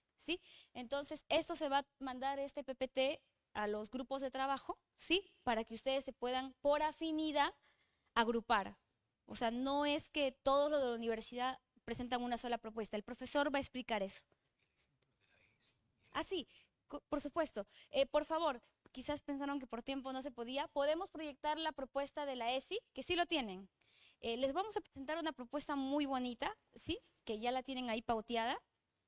Eh, nosotros presentamos, ah, les comento, el año 2020 los líderes para el Bicentenario presentaron públicamente en muchos eventos sus propuestas eh, y al finalizar el año se envió un oficio al gobierno de ese entonces, es, decir, los líderes para el Bicentenario eh, pidieron que el rector firme las propuestas y se presentó por mesa de partes del Palacio de Gobierno y se presentó en ese entonces era presidente Martín Vizcarra y cumplimos con el labor ciudadano de con el rol ciudadano de presentar las iniciativas para la mejora del Perú. El 2021 también se presentó mediante oficio las propuestas de la promoción 2021 de líderes para el Bicentenario y presentaron al presidente de ese entonces, que era Francisco Sagasti. Ustedes también, cuando culminen su año y se gradúen, y queden quizás 50, 40, 20 propuestas, las que fueran, se presentará ante el gobierno que esté en ese entonces, ¿sí?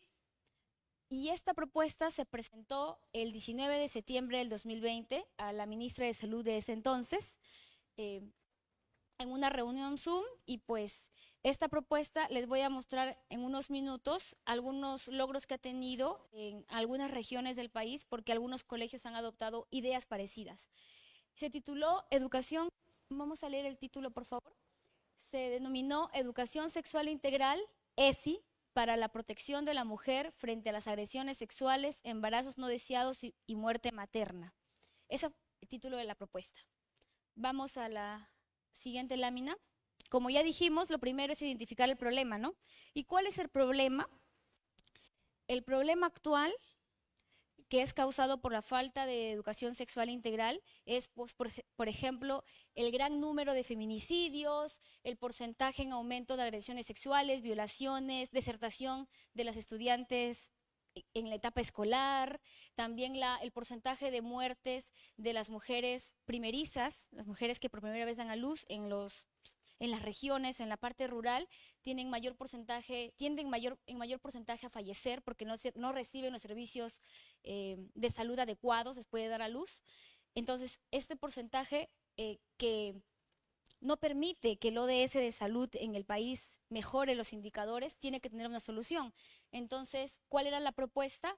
Ah, acá continuamos con la problemática. Seguimos, por favor, con la lámina siguiente. Ahí continúa el problema. ¿El problema cuál es? Pues lo que les decía anoche y todos estos días era la cultura machista, ¿no?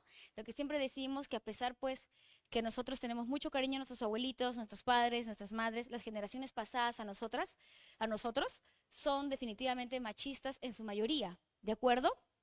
Entonces, eh, hay que, pues, trabajar en una educación sexual. En una educación sexual integral eh, se espera que en los colegios se enseñe se enseñe esta materia y que los niños y niñas sepan sus derechos sexuales, sepan respetar los derechos sexuales de los otros, sepan reconocer sus órganos reproductores y demás, que les permitan pues vivir en bienestar y, colaborar al bienestar de los otros. Siguiente, por favor. Entonces, ¿qué se quería? Y se puede seguir queriendo si ustedes toman esta propuesta, si es que lo ven conveniente, pueden también seguir nutriéndose, de esa propuesta y presentarla.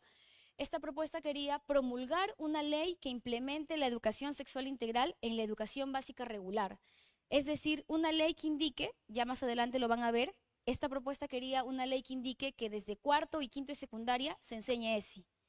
Ojo, ustedes, si la leen, de pronto dicen, no, ¿por qué de cuarto y quinto? Considero yo y mi equipo que debe ser todo secundaria. Bueno, así la redactarán. Estas son ideas inspiradoras para ustedes. No necesariamente ustedes que quieran levantar esta propuesta tienen que tomarla exactamente igual.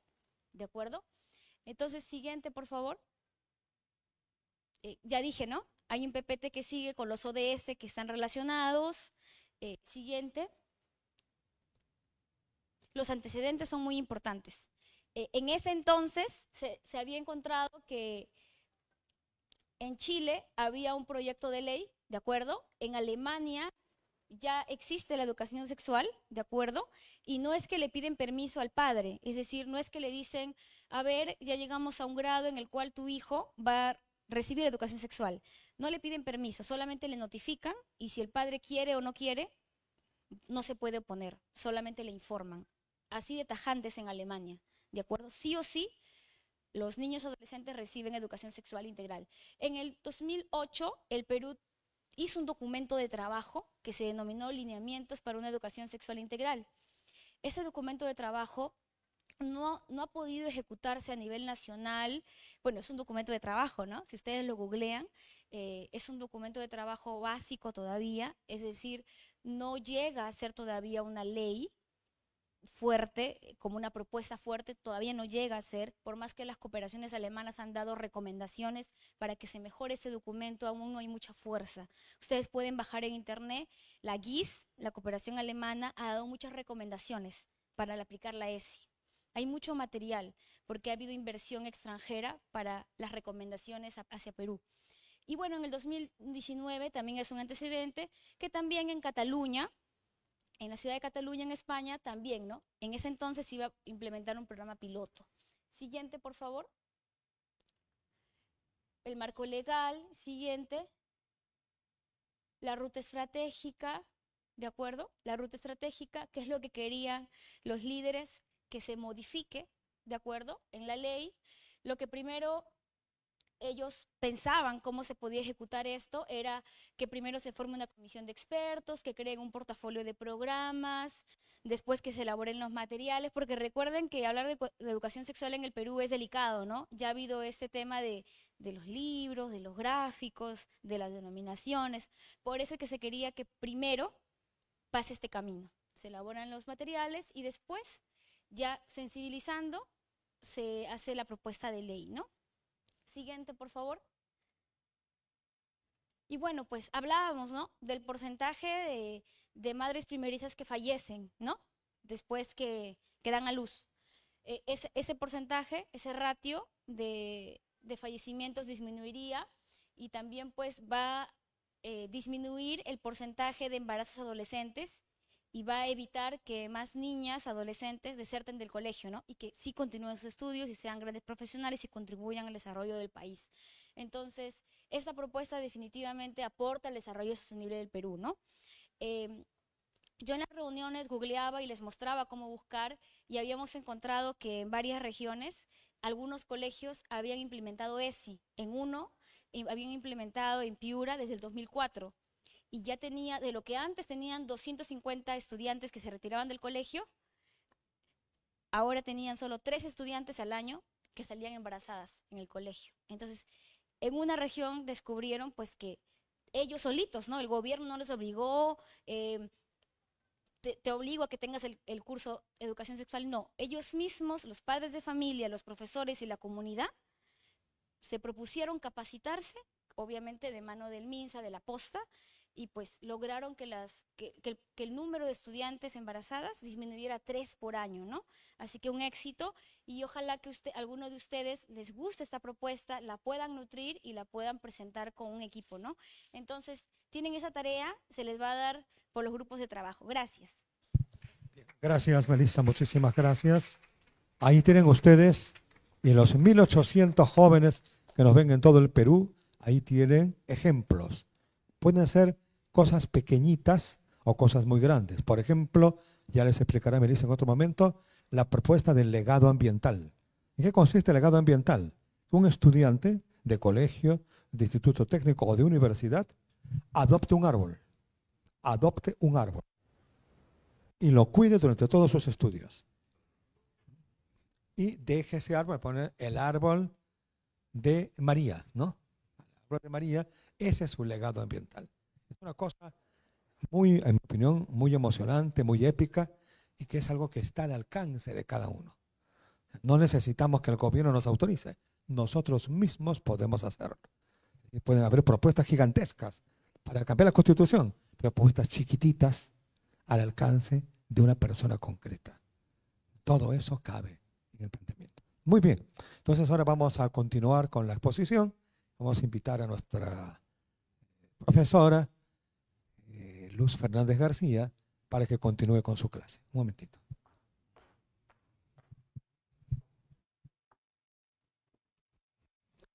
Podemos continuar.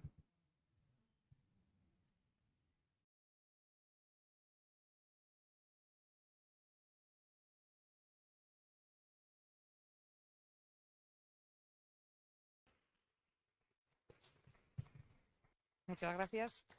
Bueno, nos hemos pasado todo el descanso hablando de comida. Hay detrás muy, muy propio para, para luego seguir hablando de, de desperdicio de, alimentos. Eh, no sé si me pueden ayudar, porfa, compartiendo la, la PPT. Perfecto. Entonces llegamos a, al ODS 13, que es el ODS que tiene que ver con cambio climático. Yo les contaba que he estudiado temas ambientales, pero no les he contado que mi doctorado es en cambio climático. Entonces, eh, antes de trabajar en lo, en, en lo, que hago ahora, ¿verdad? En, más de jefa de equipo, más en temas de coordinación, toda, prácticamente toda mi trayectoria profesional está vinculada a temas de, de cambio climático. Entonces, siendo mi ODS favorito el 12, porque creo que es donde hay el impacto, es verdad que todos los temas de, de cambio climático me parece que son súper importantes, ¿no? Es, interesante porque este ODS, ¿verdad? Eh, aunque se llame el ODS de cambio climático, no recoge, como os contaba, todo lo que tiene que ver con cambio climático, ¿verdad?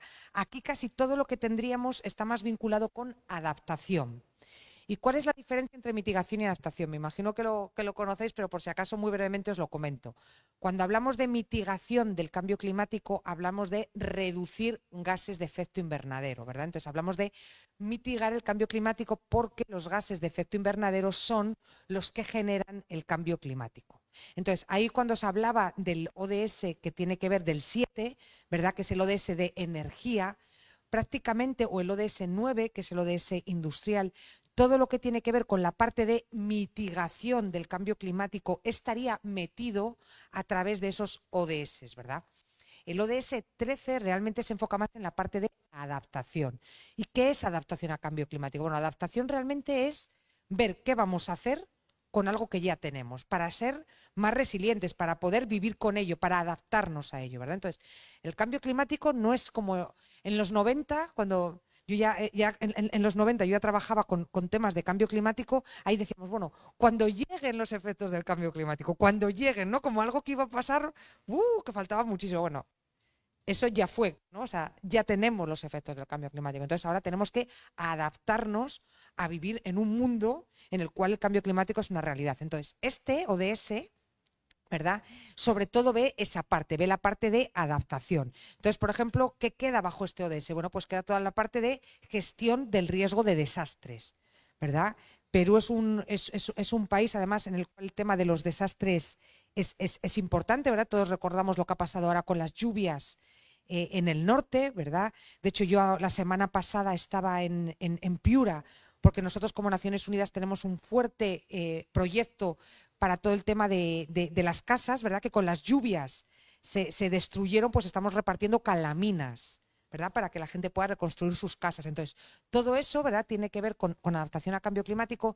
Y una cosa interesante que, que ha pasado en, en Perú es que realmente Perú tiene una muy buena legislación para, para, todos estos temas. ¿no? Entonces, por ejemplo, Perú tiene, eh, en 2021 se aprobó la Política Nacional de Gestión del Riesgo de Desastres hasta 2050 y también previamente se contaba con el Plan Nacional de Gestión del Riesgo de Desastres. Entonces, Perú realmente hay una cosa en la que es positivo y es que en materia legislativa, en leyes, está, está bastante avanzado.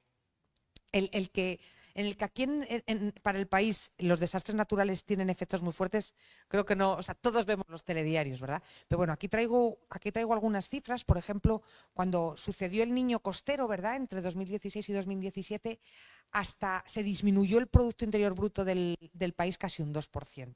Eso quiere decir que hubo un impacto gigantesco, gigantesco, gigantesco para la economía. Y se espera que lo que pueda pasar ahora, ¿verdad?, sea algo, sea algo parecido. O sea, realmente cuando hablamos de cambio climático hablamos, no hablamos de algo abstracto, hablamos de algo que tiene impactos en las vidas de las personas, hablamos de algo que tiene impacto económico para, para, los, para los países. Y hablando de, de, que tiene impacto para las, para las personas, por ejemplo, aquí veis algunas de, las, de los millones de personas que se han visto afectadas en Perú, ¿verdad?, en los últimos años por, por desastres eh, entonces, eh, que están vinculados con cambio de ellos, o sea, de los desastres que ha habido en el país, 67% han estado vinculados con cambio climático y aquí vemos cómo han afectado a los millones de personas. ¿no? Entonces, por ejemplo, vulnerables a la inseguridad alimentaria, 14 millones, expuestos a heladas y a friajes, 5.6 millones, vulnerables a lluvias intensas, 5.5 y expuestos a sequías, 2.6.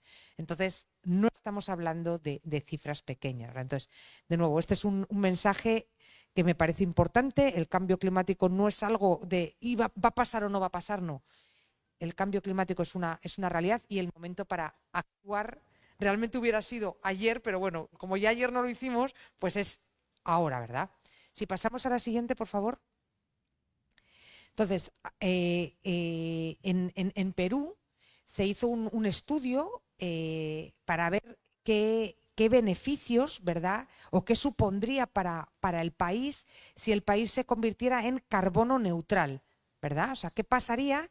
¿Qué impacto? O sea, ¿cuánto le costaría al país convertirse en carbono neutral hasta el, el, 2050. Y lo que se ha visto es que si convirtiéramos al país en carbono neutral hasta 2050, no solamente no costaría dinero, sino que estaríamos ganando dinero, o sea, 161 mil millones de dólares. O sea, esto, porque muchas veces dicen, no, pero es que sí, muy bien el cambio climático, pero es que nos va a costar mucho dinero. Bueno, hay que ver porque hay que hacer muchos cálculos, ¿verdad? Y igual pones dinero por un lado, pero por otro lado lo ganas, ¿no? ¿Y en qué lo puedes ganar? Bueno, lo puedes ganar porque hay menos accidentes, lo puedes ganar porque gastas menos en salud, lo puedes ganar porque hay determinadas acciones, ¿verdad? A follow es todo lo que tiene que ver con agricultura y todo el tema de, de bosques y usos de suelo. Esas actividades, el que tú aproveches para plantar bosques y demás, también traen, traen beneficios económicos para el país, ¿verdad? Por no hablar, por ejemplo, también se pueden valorizar residuos. Entonces, si todo esto lo sumamos de nuevo, eh, eh, la realidad es que no estaríamos hablando de un costo, sino que estaríamos hablando de un beneficio. Y este tipo de estudios, este tipo de informes son muy importantes porque eh, son los que permiten acallar algunas voces, ¿verdad? Que, que, es como, no, pero ¿cómo vamos a gastar ese dinero? Hay otras muchas cosas más importantes. El cambio climático ni siquiera sabemos, siempre ha habido cambios climáticos. O sea, eso muchas veces a esa gente tú no les, tiene, no les vas a poder convencer nunca intentando darles argumentos más igual científicos, pero sí les puedes convencer cuando les hablas de dinero, ¿verdad? Entonces hay muchos estudios y ya os cuento que este en concreto lo hizo el, el BID, el Banco Interamericano de Desarrollo, y ahí se puede ver claramente cómo, cómo eh, realmente pues, una carbono neutralidad al país le podía traer incluso recursos. Si pasamos a la siguiente, por favor. Entonces, imagino que esto lo conocéis, pero me parece importante, de nuevo, sois, sois, los líderes del futuro, entonces tenéis que conocer un poquitín qué es lo que se discute en los escenarios internacionales. Entonces, me imagino que sabéis que el año 2015 fue un año muy importante, no solamente porque se firmó la Agenda 2030 y los ODS, que también, pero en el año 2015 también se firmó el Acuerdo de París. El Acuerdo de París es el, mayor acuerdo que existe ahora mismo a nivel mundial en temas vinculados con cambio climático y reemplaza, es que todos sois muy jóvenes aquí, pero reemplaza a un acuerdo que existía con anterioridad que se llamaba el Protocolo de Kioto. Entonces, el Protocolo de Kioto, en el cual yo hice mi doctorado, eh, el Protocolo de Kioto era el acuerdo que existía hasta antes del 2015, ¿verdad?, que regulaba un poco los compromisos que tenían los países en materia de cambio climático y desde el 2015 entra en vigor el Acuerdo de París. ¿Y qué busca el Acuerdo de París? Bueno, el Acuerdo de París lo que dice es que los países que lo firman, que son todos, van a, intentar que el aumento de temperatura global en este siglo quede por debajo de los 2 grados centígrados respecto a niveles preindustriales y seguir esforzándose por limitar el aumento de temperatura aún más a 1.5.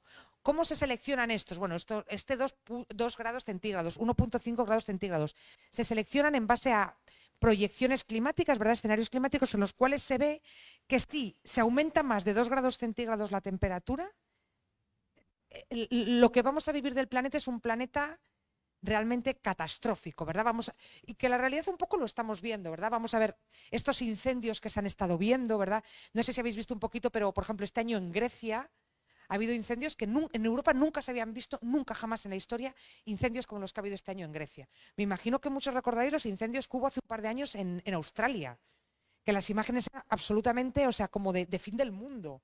¿Verdad? O no sé si habéis visto, por ejemplo, este año acaban de morir miles de personas en, en, Libia por una especie de lo que llaman Medican, que antes ni existían, que son huracanes en el Mediterráneo. España este año ha tenido su primer Medican. Eso antes no existía.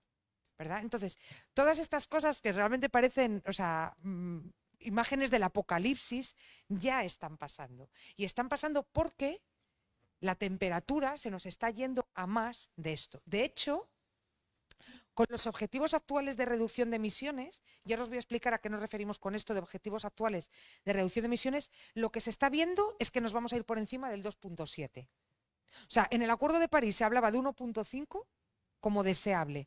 Y la realidad es que estamos por encima del 2.7.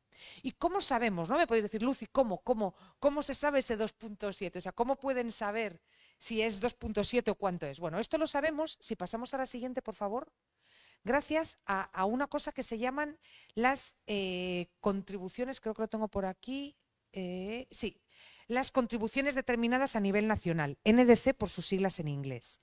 ¿Qué dice el Acuerdo de París? El Acuerdo de París dice, ok, los países ahora tienen que presentar cómo van a reducir sus emisiones. Y esto se les llama contribuciones determinadas a nivel nacional. Estas contribuciones determinadas a nivel nacional son un informe, ¿verdad?, que los países presentan ante la Convención Marco de Naciones Unidas frente al cambio climático, en el cual explican, dice, bueno, pues yo voy a reducir mis emisiones haciendo esto, esto y esto, y gracias a eso voy a conseguir reducir tantas emisiones.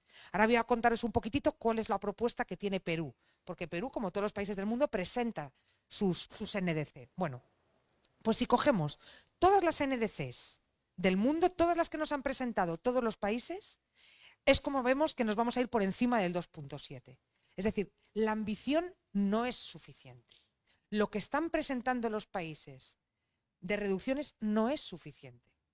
Y esto es un poquito, eh, o sea, el, mensaje que se está intentando lanzar desde, desde Naciones Unidas a los países. De hecho, ahora os contaré, un poco más adelante creo que lo tengo, que hace, pues cuando ha habido la Asamblea General, ahora cuando la, presidenta ha viajado a Nueva York para la Asamblea General y para la cumbre de los ODS, también hubo una cumbre que se llamó de eh, acción climática. Y se llamó así precisamente para eso, porque es el momento de acción.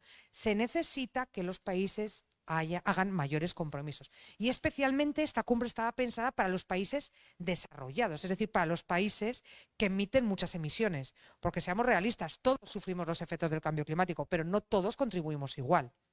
Entonces es cierto que hay países que necesitan hacer mayores compromisos, ¿no? Y esto se tiene, se tiene en, cuenta. Pero bueno, es esto, es a través de, de, estos planes, ¿verdad?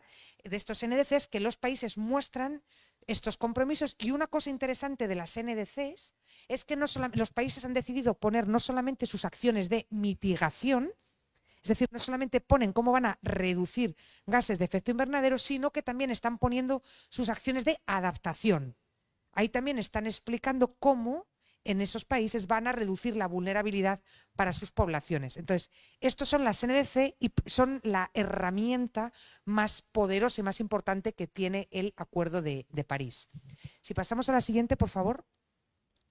Entonces, un poquitito cómo se vería el perfil de emisiones en Perú, ¿verdad? Bueno, para empezar, podríamos, Perú no emite ni el 0.5% de las emisiones mundiales.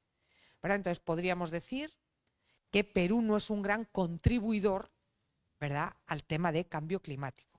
Eso no quiere decir que no haya muchas cosas que se pueden hacer, ¿verdad? Pero a pesar de que hay cosas que se pueden hacer, es importante eso, tener en cuenta, viendo la foto en grande, que no es uno de esos países en los cuales uno cuando piensa, este país sí o sí tiene que hacer algo porque es un gran contribuidor, no es el caso de, Perú.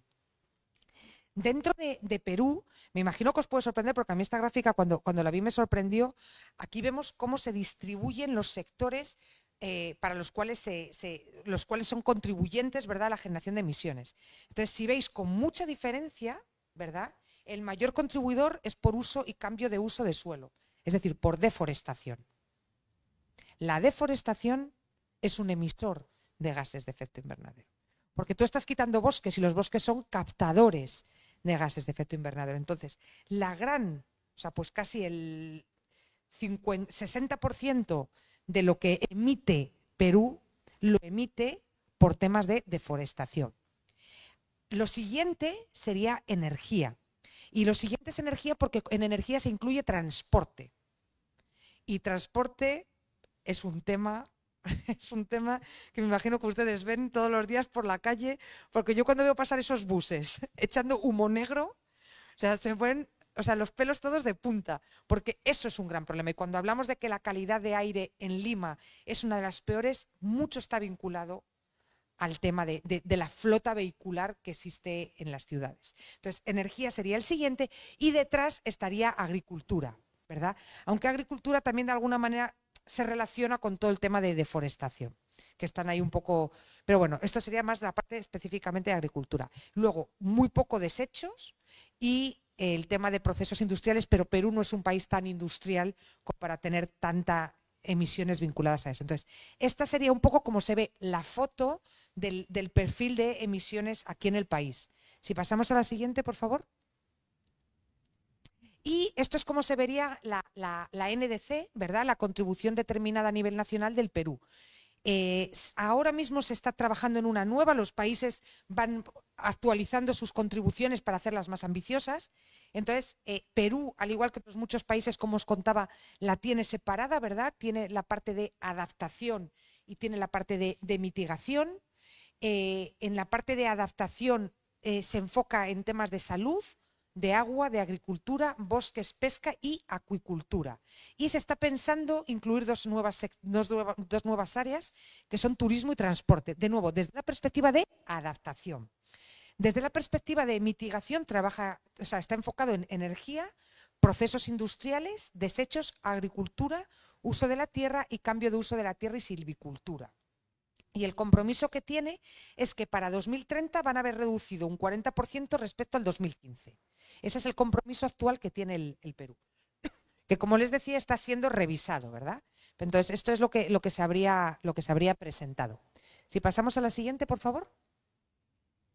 Entonces, una, cosa interesante es que desde Naciones Unidas, nuestro secretario general lleva tiempo eh, diciendo ¿verdad? que estamos ante una emergencia climática, que los países tienen que decretar las emergencias climáticas como para dar visibilidad al tema, para que no se sigan ignorando. Entonces, en Perú, para que sepan, en 2022, el año pasado, se decretó por el, peruano de interés nacional la emergencia climática. Entonces, esto es algo que ya, se, que ya se hizo en Perú, ¿no? Entonces, de nuevo, esto es algo positivo porque sí es cierto que el país, al menos desde la perspectiva más, más de normativa, ¿verdad? Sí que le ha estado intentando dar importancia al tema. Si pasamos al siguiente, por favor. Y aquí simplemente un poquito, pues, pues, los mensajes que se han estado lanzando desde, desde, desde, desde nuestro secretario general, ¿verdad? Desde Antonio Guterres. Y eh, aquí una cosa eh, importante, ¿no? Es que según los análisis que han hecho los, expertos, ¿verdad? Que trabajan eh, dentro de lo que se llamamos el IPCC. El IPCC es el Panel Intergubernamental de Cambio Climático, que es un organismo científico que queda bajo la Convención Marco de las Naciones Unidas para el Cambio Climático y realmente se ve el cambio climático como una de las, cuando hablamos de estas megatendencias, pues la megatendencia que realmente la más grave y la que probablemente impida que cumplamos con la Agenda 2030 y los Objetivos de Desarrollo Sostenibles. Si no somos capaces de hacer frente a los efectos del cambio climático, realmente no vamos a ser capaces de cumplir con los Objetivos de Desarrollo Sostenible, porque está teniendo impacto el cambio climático en muchos de ellos. Entonces, realmente es una cosa eh, que, que no podemos mirar para otro lado, ¿verdad?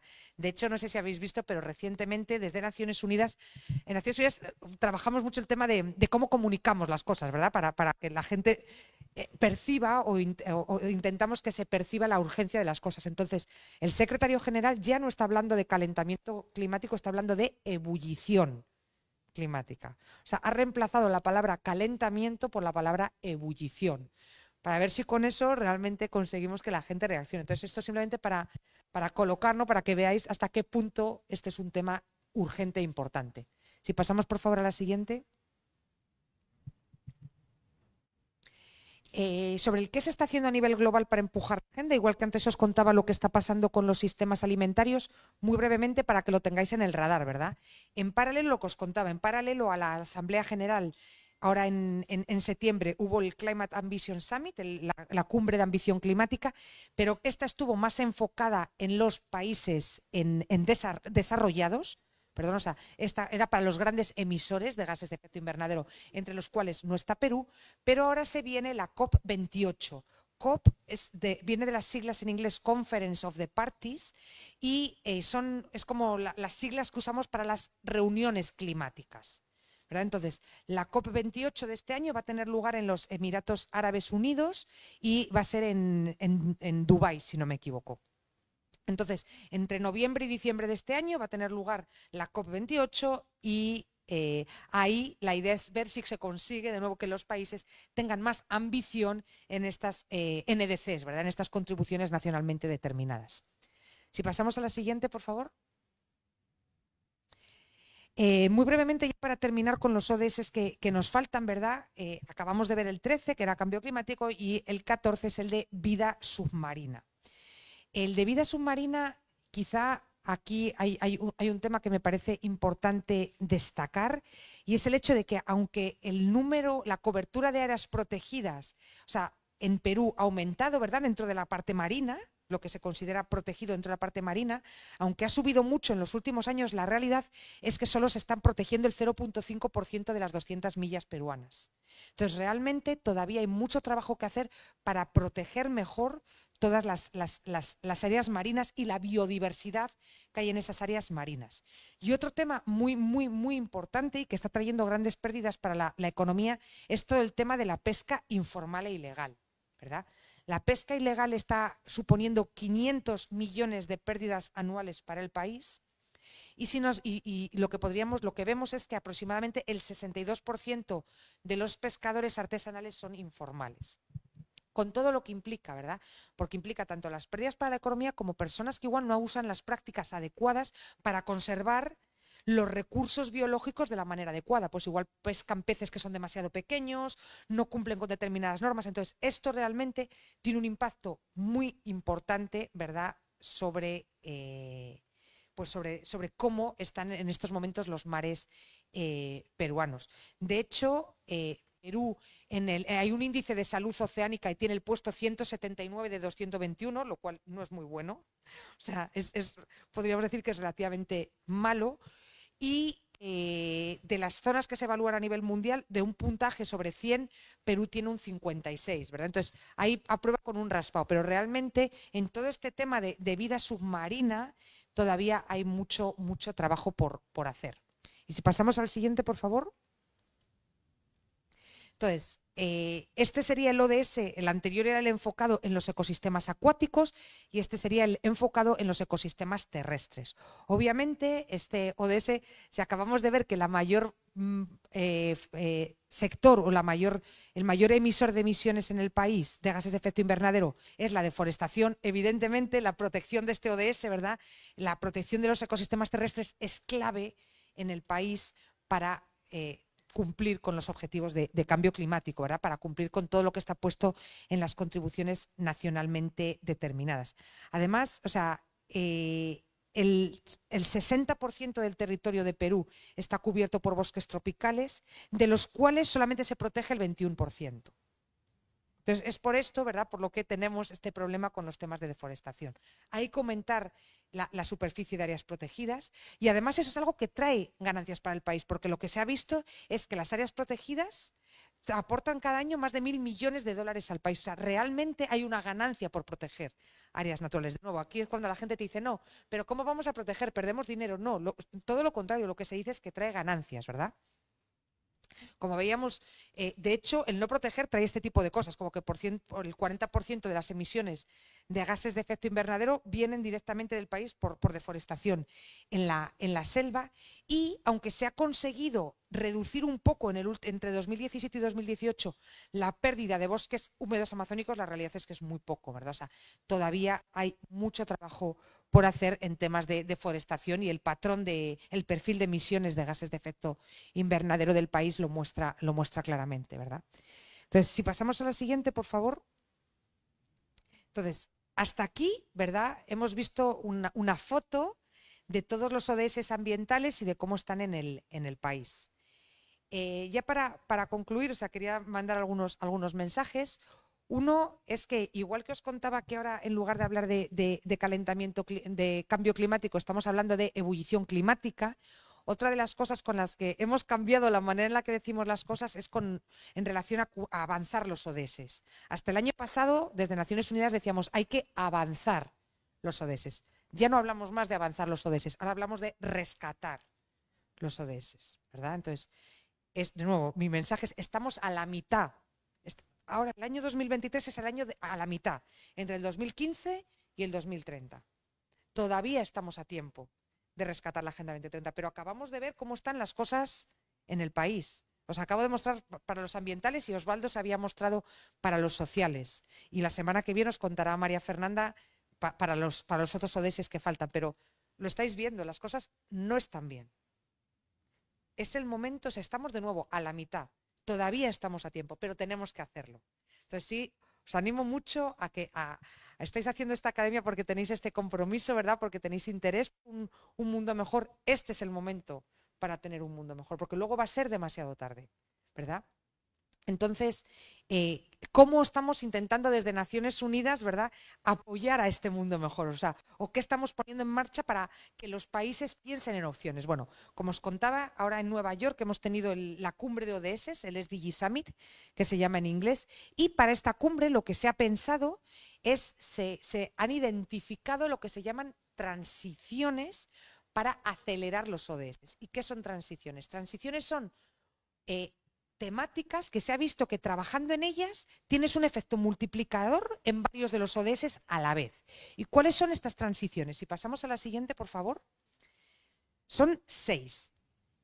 Entonces, en, estas transiciones tendríamos energía, biodiversidad y naturaleza, transformar la educación, protección social y empleo, transformar los sistemas alimentarios y mejorar la infraestructura eh, pública digital. Estas son las seis transiciones identificadas con mayor potencial para acelerar o para rescatar los ODS. ¿Por qué? Porque trabajando con cualquiera de ellas, de nuevo, tú tienes un efecto multiplicador en varias. Fijaros, son seis y tres son ambientales. O están directamente, directamente, directamente vinculadas con temas ambientales. Energía, biodiversidad y naturaleza y sistemas alimentarios. Entonces, esto para, para, enfatizar la importancia de lo que hemos estado viendo hoy, ¿verdad? O sea, la, agenda ambiental no es una agenda que yo he oído muchas personas, no, pero es que primero hay que, las personas son más importantes, luego se ve lo ambiental. No. Las personas no van a poder estar bien si no trabajamos lo ambiental, porque todo, todo va de la mano.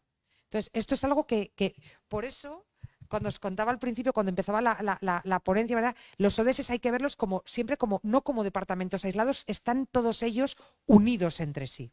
Si pasamos a la siguiente, por favor. Entonces, finalmente traía unas, unas reflexiones, lo que os contaba, ¿verdad?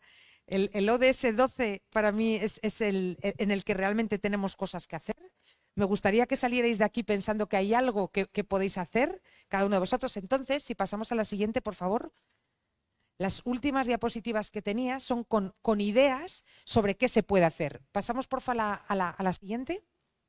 Entonces, aquí, para cada uno, es, una página web que me parece muy interesante, que para cada uno de los ODS te va dando ideas de cosas que pueden hacer las personas. ¿no? Entonces, no quiero entrar ahora a leerlo. Hemos ido hablando, he ido hablando de, de varias cosas durante mi, mi, durante mi charla y quiero dejar un tiempo para que podáis, para que podáis preguntarme, pero como esto luego os lo van a compartir, ¿verdad? Aquí hay varias ideas sobre qué eh, podéis hacer cada uno de, vosotros como, consumidores y de verdad os animo porque eh, lo estaba hablando con, mientras estabais sentada antes de, empezar la, antes de empezar la charla, si hay un mensaje que a nosotros nuestro secretario general nos dice siempre es, o sea, tenéis que ir con los jóvenes. Para nosotros eh, el tema de trabajar con jóvenes es, es clave porque al final los jóvenes de hoy son los adultos del futuro, son los que van a cambiar las cosas, ¿verdad? Son los que van a tener el poder de hacer cosas. Entonces, sí me gustaría, pues, estáis en una academia de líderes, entonces entiendo que tenéis esta inquietud, ¿verdad? Tenéis este deseo dentro vuestro por un mundo mejor, por hacer las cosas mejores. Y de verdad quiero mandaros el mensaje de que es el momento de hacerlo, estamos a tiempo de hacerlo y hay muchas cosas que se pueden hacer. Muchísimas gracias.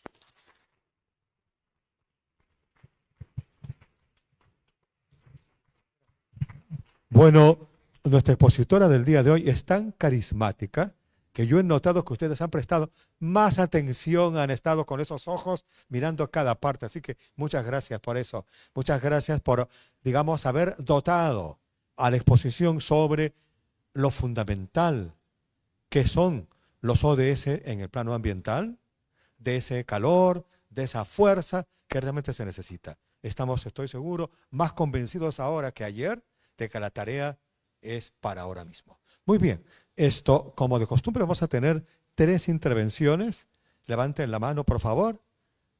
Aquí, aquí el micrófono. Allá, pero necesitamos el, el otro micrófono, por favor. A ver, tres van a ser, ¿ah? Tres y un bloque de tres cortitas y sobre el tema. No, quizás también tienen ustedes preocupaciones sobre la historia de Grecia, ahorita no, no es el tema la historia de Grecia, así que tienen que ser sobre los temas que se han expuesto. Por favor, sí, eh, su nombre, de qué universidad es y la pregunta o comentario. Buenas tardes, Luz, encantado. Eh, mi nombre es Cristian Kevin Quesada, de la Universidad Nacional Agraria de la Molina. ¿Qué universidad? De la Universidad Nacional Agraria. Ah, muy bien, muy bien. Mi pregunta va relacionada a la ODS 12 sobre producción y consumo responsables. Bueno, uno de los problemas principales en el Perú es la falta de rellenos sanitarios y esto se suele complementar con botaderos informales, ¿no? Entonces, mi pregunta va relacionada al tema de los residuos sólidos. Muchas veces nosotros solemos segregar, ¿no? Separar residuos, sea en plásticos, vidrios, papel, pero cuando viene los, el camión de la basura, todo esto lo mezcla y al final ese trabajo pues se pierde, ¿no? Entonces, ¿cómo podemos aumentar el porcentaje de reciclado desde ese aspecto? Muy bien. Segundo comentario, por favor, pregunta. A ver, por acá veo, por allá, hay bastante que han levantado la manito. Que viene corriendo el voluntario. Estos jóvenes que están con su polo son nuestros voluntarios que nos apoyan en el protocolo muchísimo. Sí, en nombre, universidad y comentario o pregunta. Buenas tardes, muchísimas gracias por darme eh, la posibilidad de expresar, eh, de decir mi, duda en este caso. Mi nombre es Leonardo López y vengo de la Universidad Pontifícia Católica del Perú. Ah, mi pregunta es, eh, ¿cuáles son los mecanismos que, con los cuales dispone la ONU que para conseguir que no solo países, los que más contaminan, por ejemplo, China, India, Estados Unidos u otros países de primer mundo eh, reduzcan su impacto. Y no solo eso, sino también las grandes transnacionales, por ejemplo, Coca-Cola u otras empresas. Muchas gracias. Perfecto, muy bien. Otra pregunta, por favor. A ver, por otro lado, a ver. Aquí, aquí adelante.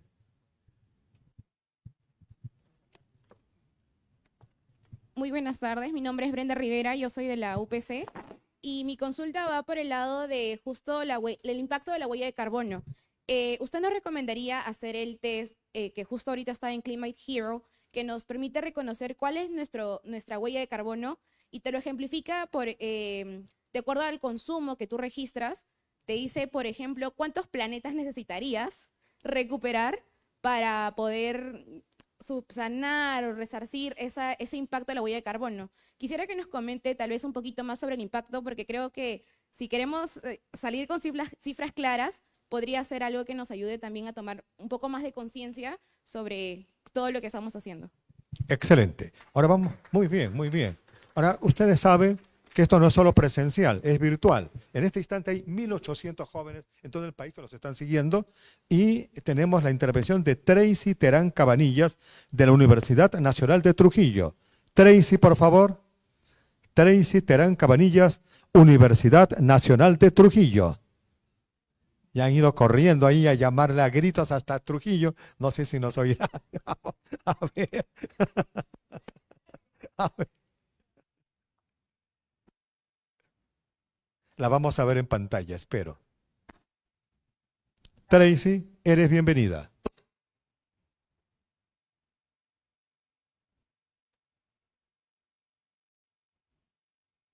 Estamos en la plataforma webinar. Sí, Tracy, te escuchamos. Ok, eh, buenas tardes con todos. Es un honor para mí estar aquí en la Academia Líderes y tener la oportunidad de compartir con ustedes eh, algunas reflexiones que considero fundamentales para nuestro país. Como sabrán, nosotros los jóvenes jugamos un papel fundamental en el rumbo de nuestro país. Somos las generaciones que heredan los desafíos y las oportunidades de la nación. Es nuestra responsabilidad aprovecharlas al máximo. Cada uno de nosotros tiene el potencial de ser un líder y de hacer una diferencia significativa en nuestra sociedad. El liderazgo no se trata solo de ocupar una posición de autoridad o de poder, sino de tomar la iniciativa y ser agentes del cambio positivo. Es el comprometernos con nuestra nación y sus problemas, desde la educación hasta la igualdad de oportunidades, Debemos ser proactivos, tomar la iniciativa para abordar los desafíos, en lugar de esperar a que otros lo hagan. Y sobre todo, debemos de colaborar con, eh, jóvenes, con nuestros propios compañeros, con personas de cualquier edad que compartan nuestras metas, ya que hay que recordar que el liderazgo no es un esfuerzo individual. Necesitamos de todos para poder cumplir nuestros objetivos. Hoy, los líderes juveniles no solo son el futuro, somos el presente. Tenemos la energía, la creatividad y la determinación para construir un Perú más fuerte, justo y próspero. No subestimemos nuestro, nuestro potencial y tampoco hay que subestimar el impacto que podamos tener en nuestras comunidades y en todo el país. Por último, eh, me quiero dirigir a ustedes como alguien que también busca fórmulas para el desarrollo sostenible. Eh, hay que asumir con responsabilidad la construcción del, eh, del futuro del Perú. Hay que hacer un compromiso firme, hay que tomar medidas, hay que trabajar juntos para así perseverar. Unidos podemos crear un futuro prometedor para nuestra querida nación que es el Perú. Gracias. Magnífico mensaje. Y tenemos ahora a Brian Ortiz Muñoz, Universidad Nacional de San Agustín de Arequipa. Brian, te escuchamos. Honorable magíster Luz Fernández García, distinguidos miembros de la UNI, ilustres universitarios, líderes, público en general. Mi nombre es Brian José María Ortiz Muñoz estudiante líder de la Universidad Nacional de San Agustín de Arequipa, de la Facultad y Escuela Profesional de Derecho. Qué alegría poder verlo.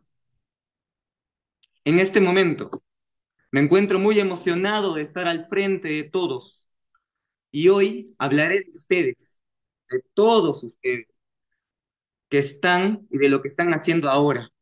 Ustedes están formándose como líderes y este adjetivo no solo es un vocablo que suena bonito, sino que tiene mucho significado. Un líder es aquel que es solidario, empático, proactivo, humilde y humano con los demás. Ustedes son el motor del cambio. Son personas que se están capacitando, que en un inicio llenaron un formulario, el ánimo de cambiar el país. Y cada sábado, tanto los que están presentes física o virtualmente dan un tiempo de su vida para desarrollarse y aprender de los mejores, con el fin de lograr el desarrollo sostenible, no solo mediante clases, sino en hechos, en nuestras futuras propuestas que realizaremos por el bien común, por la solidaridad y por las ganas de mejorar nuestra nación y trascender al mundo. Si bien nos pueden tildar de soñadores, porque creen que estamos lejos de lograr esos objetivos de desarrollo sostenible, que no nos quiten las ganas. El acto de continuar el viaje, aceptar el reto, perseguir el sueño compartido para lograr reducir la pobreza, aumentar la seguridad alimentaria, tener una educación de calidad y que nuestra gente pueda vivir en paz. Algo para concluir, quiero decirles a ustedes que estoy muy orgulloso de estar con todos los universitarios líderes y todos los que hacen posible este proyecto, que es algo sui generis, o sea, algo único en su especie. Porque hemos logrado unir a todas las universidades, tanto nacionales como privadas, dejando de lado las diferencias y con un solo fin, que es el de buscar un mundo mejor mediante el desarrollo sostenible. Por eso, yo les pido, corazón, a ustedes que se levanten, que sientan en el pecho la responsabilidad de tomar la batuta de nuestro país y que demos un fuerte aplauso por nuestro proyecto lleno de humanidad. Muchas gracias. Ser joven es querer un mundo mejor. Por favor, es el momento del comentario de nuestra expositora. Por favor. Perfecto. Bueno, yo tomo notas que tengo memoria de pez. Entonces, si luego hay algo que no, respondo, por favor me, me, dicen. Eh, la primera pregunta era sobre el tema del reciclaje, ¿verdad? Me la hicieron por ahí, chico de la Universidad de La Molina, disculpa, no recuerdo el nombre, pero recuerdo la pregunta. Entonces, ¿cómo aumentar, verdad? El, tema del reciclaje es un tema complejo porque más allá de lo que podemos hacer nosotros como individuos, también necesitamos que existan las infraestructuras, como tú decías. si nosotros separamos en casa y luego nos llegan del camión de la basura y todo lo mezcla, pues un poco eh, se pueden complicar las cosas. Yo hay un poco lo que, lo que os animo, porque sé que existe, pero no sé si existe en todos los barrios. Yo conozco un poquito lo que existe en el mío, ¿verdad? Eh, pero yo sé que, por ejemplo, eh, yo si saco las bolsas al camión de la basura pasa lo que tú dices, o sea, lo mezclan, pero también sé que hay un número de teléfono al cual yo puedo llamar a unos recicladores que están formalizados, o sea, forman parte de cooperativas que están regularizadas. Entonces, yo llamé a esa, a esa cooperativa y me mandan una vez a la semana a un señor que viene a mi casa y se lo lleva separado.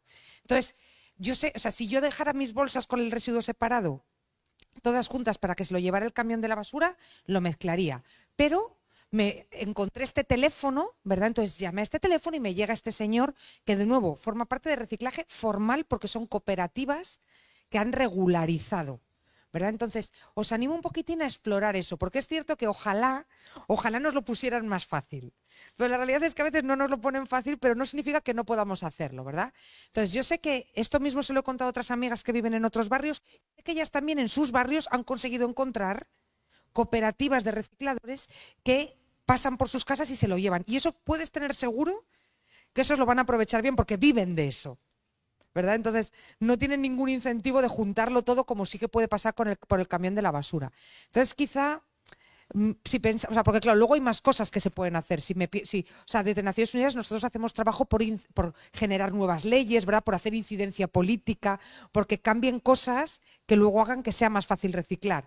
Pero voy a intentar, o sea, creo que respondiendo a tu pregunta de la manera más práctica, para lo que vosotros podéis poner en práctica, yo iría en esa línea, ¿no? Sé que sería más fácil dejarlo todo directamente al camión de la basura, pero hagamos ese esfuerzo. Y de verdad, yo trabajé hace años, hace muchos años, eh, con temas de, cooperativas de recicladores, de regularización de cooperativas de recicladores. Y tengo que deciros que la primera vez que yo vine a Perú vine para eso, hace como 13 años, porque Perú es un referente mundial en la formalización de recicladores. De hecho, la actual ministra de Medio Ambiente, Albina, yo la conocí en esa época porque ella dirigía una ONG Estamos hablando de hace, de nuevo, 15 años, precisamente que buscaba eso, formalizar recicladores. Entonces, Perú es un referente, aprovechémoslo, ¿no? Entonces, creo que, con eso eh, podríamos, podríamos mejorar, ¿verdad? O, incrementar nuestro impacto y conseguir reciclar más que si lo, sacamos al, camión de la, de la, basura. Luego había una, una, pregunta de la, de la Pontificia Católica, ¿verdad? Venía por aquí Sí, Ronaldo, no sé si entendí bien el nombre, o Renaldo, Leonardo, perdón, eh, que tenía que ver cómo hacer para que no solamente los países, sino también las, las empresas, ¿verdad? O sea, realmente cuando se habla de, de que los países tienen que hacer compromisos, quienes los hacen son las empresas de los países. Porque mucha parte de los países que son muy emisores, realmente quien está detrás de, esa, de esas emisiones son industrias. Entonces, cuando los países presentan sus compromisos, ya van muy vinculados a industrias. Pero es cierto que hay industrias que son como más transnacionales, ¿verdad? Que, quedan como un poco por, todas partes. Entonces, es por eso, por lo que desde, desde Naciones Unidas, claro, vosotros sois más jóvenes y ese cambio no lo habréis, no, lo vais a notar, no lo, no lo habéis podido notar tanto. Pero ya veréis cuando venga la, la semana que viene mi colega María Fernanda a hablaros un poco del tema de alianzas. Una cosa que ha cambiado totalmente, totalmente, totalmente, desde que yo empecé a trabajar en Naciones Unidas hasta ahora es el énfasis o el peso que le damos al sector privado. Antes las empresas, las industrias eran un actor que no tenía nada que ver con Naciones Unidas. Eran un lado y nosotros por otros, nosotros con nuestra agenda y las industrias no nos, no nos relacionábamos para nada con sector privado. Ahora es impensable. Impensable, porque son claves. De hecho, cuando se organizan todas estas cumbres de las que os he estado, de las que he estado hablando, y cuando, por ejemplo, cuando se ha organizado esta cumbre de acción climática, un actor clave siempre, siempre, siempre son las empresas y las industrias y el rol que tienen que jugar. O sea, porque se necesita, no vamos nunca a rescatar los ODS sin el rol del sector privado. Porque unas, unas cosas que nos he traído es lo que cuesta cumplir la Agenda 2030. Pero si veis un poco, es- es- es muy curioso, porque tú ves todo lo que hace falta, imaginémonos que son 100, ¿verdad? Imagínate que hace falta 100. Bueno, Naciones Unidas pone uno, porque es lo que tenemos, ¿no? Luego, los países pueden poner, yo qué sé, 25. Y toda la diferencia está en el sector privado. Ellos son los que tienen el dinero, ellos son los que mueven Entonces, definitivamente el rol es clave y cada vez, y eso mi colega María Fernanda os va a contar más la próxima semana, sobre cómo y qué mecanismos estamos eh, intentando poner en marcha para garantizar que se involucran de manera mucho más, mucho más activa. La tercera pregunta la traían de la, de la UPC por aquí sobre la, sobre la huella de carbono. Totalmente. O sea, lo que pasa es que como hoy solo tenía dos horas y habéis visto que a mí me gusta hablar, yo podría haber estado hablando 20 sobre estos temas. Definitivamente estas herramientas, esta herramienta que tú has mencionado es súper útil. Yo tengo calculada mi huella de carbono y porque estas herramientas, no, no conozco exactamente la que tú dices, pero es que hay muchas, ¿verdad? Entonces, y todas más o menos te hacen lo mismo. Van un poco, tú vas metiendo información sobre tu, tu vida, ¿verdad? Sobre lo que tú haces, cuántas lavadoras pones a la semana, qué medios de transporte usas para movilizarte, cuántos viajes transoceánicos haces al año. Y ahí os cuento que es como a mí me, me rompe todos mis- mi huella de carbono está ro- rota, pero porque pa- como para viajar a ver a mi familia, al menos yo hago todos los años un viaje. Ya con eso la- las compenso. Os cuento yo, compenso emisiones, que es otro mecanismo que en estas herramientas te dan ideas, ¿verdad? Entonces, yo sí que os recomiendo, como decía la- la- vuestra compañera, os animo mucho que os metáis en Internet, veáis estas herramientas para calcular la huella de carbono, porque por lo general siempre os dan ideas sobre cómo minimizarla. Entonces, os animo mucho porque es cierto que es otra de las cosas. Y creo que está en este listado que os hablaba que aparecía al final.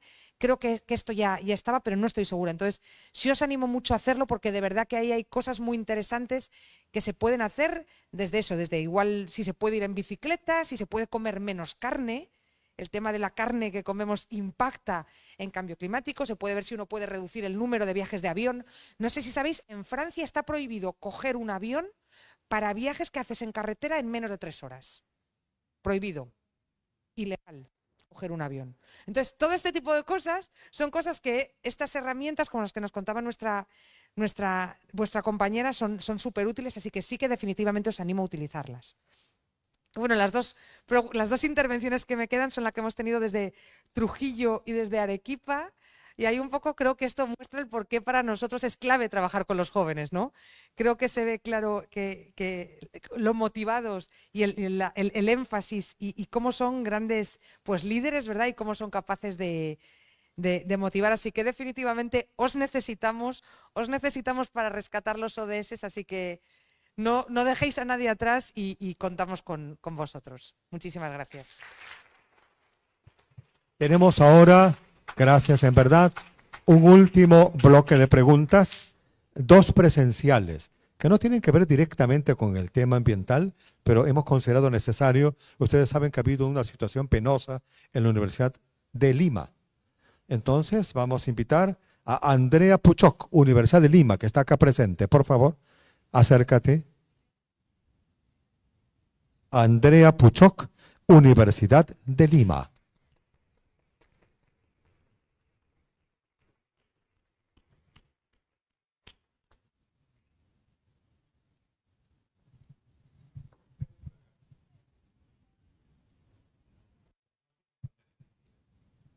Gracias. ¿Se escucha bien? Gracias. Eh, primero quiero dar un saludo cordial a la sala, a los líderes de la academia aquí presentes y a la expositora el día de hoy, Luz Fernández García. Excelente exposición, de verdad estoy muy conmovida por todo lo que me ha dicho sobre mm, bueno, las cuestiones ambientales. Me ha hecho reflexionar mucho al respecto. Bueno, quiero mencionar la suma importancia que tiene eh, conocer los 17 Objetivos de Desarrollo Sostenible, cómo estos están ligados también con los organismos nacionales, en este caso el Perú, y cómo alcanzarlos nos ayuda tanto como país y como sociedad. Eh, quiero hacer hincapié a un tercer, al tercer ODS que es salud y bienestar, debido a que se pueden ver en los medios una deteriorada salud mental en los peruanos, que considero que es tan importante como la salud física. Los hechos ocurridos en mi casa de estudio, la Universidad de Lima, eh, ponen en la mesa dos problemas grandes que tenemos que solucionar. Eh, la falta de empatía hacia el otro y también la no privacidad debido a las fotos y videos que pueden haber visto circulando por ciertas redes sociales.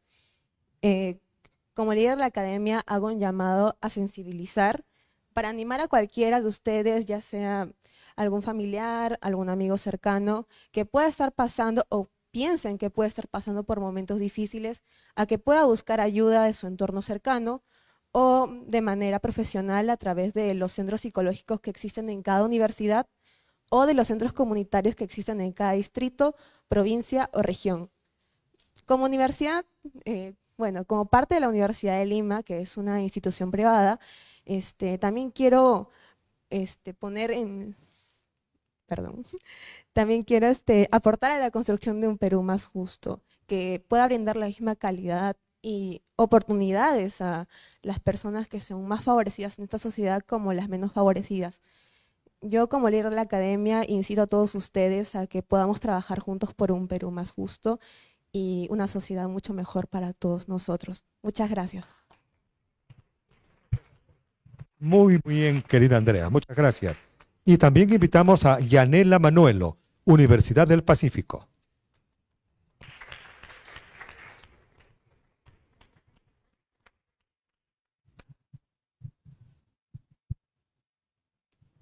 Buenas, buenas tardes a todos. Bueno, en primer lugar, mucho agradecimiento con, el bueno, con la Universidad Nacional de Ingeniería y con la ONU por darnos este espacio. Y hoy quiero dar algunas palabras de aliento a todos los jóvenes presentes, eh, mencionando de que el liderazgo juvenil es la clave para el desarrollo nacional. Nuestra capacidad para innovar y transformar es, es esencial para nuestro progreso. Por ello, todos los jóvenes debemos asumir un papel activo en la construcción de un futuro mejor.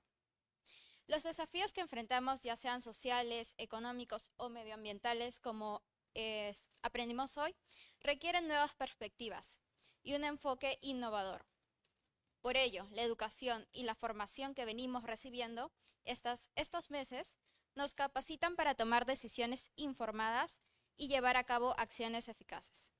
Trabajar en equipo y generar espacios de diálogo nos permite combinar nuestras fortalezas, ideas y perspectivas para lograr un impacto aún mayor. Por otro lado, debemos ser conscientes sobre cómo afectan nuestras palabras y actos. Esta, semana, las lamentables expresiones públicas demostraron una falta de respeto y valores en la sociedad. Toda acción tiene una consecuencia y se espera de igual forma este, la sanción correspondiente a ello. Por ello, insto a todos a promover la empatía y a formar una cultura de respeto en nuestras comunidades, ya que estos son el camino hacia un mundo mejor. Bueno, por último, ya estamos a puertas de preparar nuestras primeras ideas de propuestas y espero que todos los líderes presentes pensemos en solo ideas que beneficien la unión de las personas. Muchas gracias. Bien, gracias. Quédate por acá. Esto, vamos a apagar un momento el proyector para que nuestras dos expositoras que han venido de la Universidad de Lima del Pacífico se tomen una foto con nuestra conferencista, por favor, al centro del, del escenario. Pon una linda foto del recuerdo. Una a cada lado. Ahí estamos. Qué hermoso recuerdo.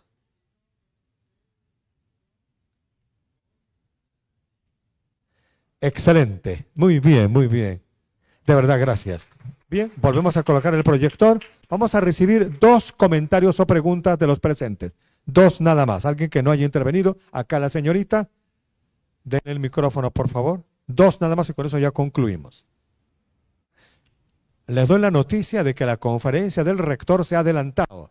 Iba a ser el 18 de noviembre, pero va a ser eh, dentro de dos semanas, el 21 de octubre. El rector de la UNI, el doctor Alfonso López Chau, va a dar su conferencia el sábado 20. Aquí la señorita, aquí la señorita.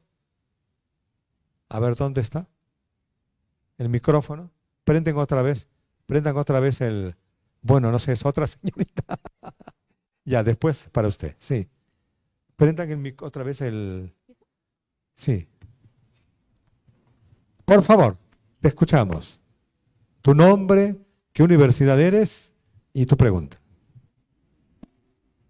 mi nombre es Carla Stephanie Ibar Jiménez, de la Universidad Privada del Norte, de Ingeniería de Sistemas. Ya mi pregunta va en, el tema de, los, de la pesca informal.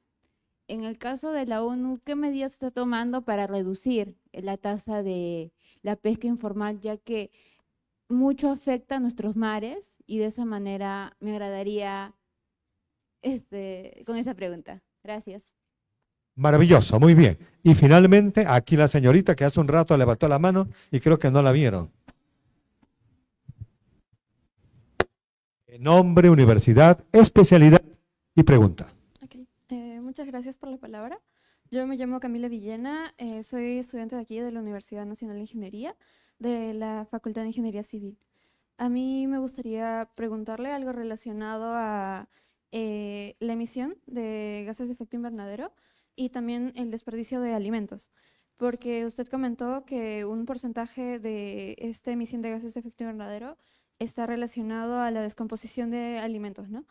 Yo vi en la diapositiva que presentó que mencionó que estaba en inglés, eh, la cual no llegó a describir del todo, pero estaba relacionada al compost generado en casa. Eh, creo que un problema grande de estas iniciativas que tiene la gente por poder eh, reducir el efecto de contaminación ambiental eh, se ve limitado por la desinformación, ¿no? Porque uno quiere ayudar para poder contrarrestar este efecto, pero la desinformación impide que esto se realice. Muchas gracias. Gracias, hija. Muchas gracias. Por favor. Bueno, antes de, responder estas dos preguntas, quiero decir que me ha, conmovido mucho lo que han, lo que han mencionado ¿no? las, las, dos chicas que nos han compartido antes. Y para que sepan, el próximo martes es el, es el Día de la Salud Mental de Naciones Unidas.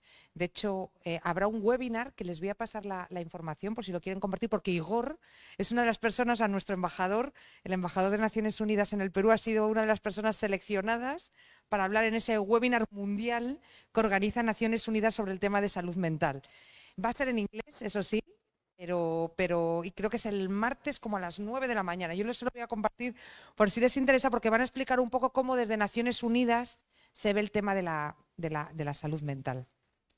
Eh, bueno, luego Carla, ¿verdad? Creo que he entendido bien el nombre, nos comentaba sobre el tema de la pesca informal. Y mira, sí, eh, nosotros, una de las agencias que tenemos aquí en, Perú es la FAO.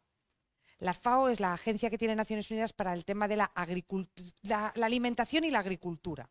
Y bajo el mandato que tiene la FAO está trabajar con pescadores, está a trabajar con pescadores artesanales. Entonces, ellos tienen un trabajo muy fuerte, muy fuerte con todo el tema de formalización de los pescadores informales. Porque para, en el proceso de formalización, ellos tienen que aprender prácticas, ¿verdad?, que hacen que cuando van a pescar tengan unos, unos manejos mucho más sostenibles del medio. Entonces, nosotros tenemos un, o sea, tienen una, tienen muchos proyectos, algunos de ellos muy bonitos, además en, la, toda la zona de Ventanilla, que si recordáis es esta zona que se vio afectada por el derrame de petróleo El año pasado. Entonces hay muchos pescadores artesanales se vieron, se vieron afectados, muchos de ellos informales. Entonces FAO tiene ahí un, proyecto muy bonito que está vinculado con todo eso, ¿verdad? Todo lo que tiene que ver con la formalización y como parte del proceso de formalizar está el capacitarles para que hagan una explotación más sostenible de, los recursos pesqueros. Entonces, Eh, eso creo que sería un, bonito ejemplo de lo que hacemos, pero eh, FAO, y en la página de, internet de FAO puedes ver un poquitín más, tiene varios proyectos en todo el país con todo el tema de, pesca artesanal y de fortalecimiento. Entonces, ahí hay, hay proyectos bien, bien, bien bonitos, también con todo lo que tiene que ver con la cadena de frío, ¿verdad? Porque muchas veces pescaban y no, no, no tenían como eh, congeladores para que el pescado se conserve. Entonces, ahí hay cosas bien interesantes que creo que en la página de FAO puedes encontrar un poquitín más de, más de información. Y luego la, pregunta final, la del, tema de, la descomposición de, los desperdicios alimentarios y el tema del compost. Totalmente de acuerdo, o sea, con, la desinformación y quizá también con la malinformación, ¿no? O sea, creo que a veces todos hemos oído, ¿no? Ah, pues sí, perfecto, tú haces compost en casa, pero ¿y cómo haces compost en casa? Entonces, sí es cierto que creo que eso no nos ha, ha beneficiado, porque hay cosas que o sea, tienes que tener como un mínimo conocimiento para que eso se haga de una manera bien hecha, correcta. En concreto para el tema del compost, y, y es una cosa que yo todavía tengo pendiente, pero tengo el contacto y lo podría compartir, sé que existen empresas en Lima que se encargan de distribuir bolsas y materiales para hacer compost en casa y luego ellos pasan y te lo recogen. O sea, ti- tienen toda la parte de la capacitación y luego tienen la, parte de, que te lo recogen y ellos lo utilizan. Eso si no quieres utilizarlo todo en tu casa, porque igual yo, por ejemplo, si hiciera compost, yo no tendría dónde utilizarlo en mi casa, ¿no? Entonces, eso sé que existe, es un poco parecido al tema de las, de las cooperativas de, de recicladores, pero son como cooperativas específicas para compostaje. Yo vivo en Barranco y en Barranco cuando uno pasa hay carteles de estos de la municipalidad que te dicen, si estás interesado en compostaje, llama a tal teléfono. Entonces, eso existe, pero también tengo unos amigos que me dijeron que ellos habían encontrado una, una empresa, una startup de jóvenes que se encargaban de eso. Entonces, con, con Melis, con los colegas, puedo, puedo compartirles estos contactos porque sí estoy de acuerdo en, en que es importante, ¿verdad?, estar bien informado para hacer las cosas bien. Pero definitivamente reconozco que ese es uno de mis pendientes. El tema del compost de nuestros residuos orgánicos es algo que puede ser muy interesante, bien hecho. Bien hecho porque mal hecho eso no, no nos lleva a nada. Entonces, sí que hay, hay, información ahí fuera, lo que pasa es que de nuevo, igual que hablábamos cuando hablamos con el tema del reciclaje, es que hay que hacer un poco el esfuerzo, ¿verdad?, de encontrar esa, esa información. Pero voy a ver si lo consigo localizar para, para compartiroslo a través de, de los colegas. Gracias.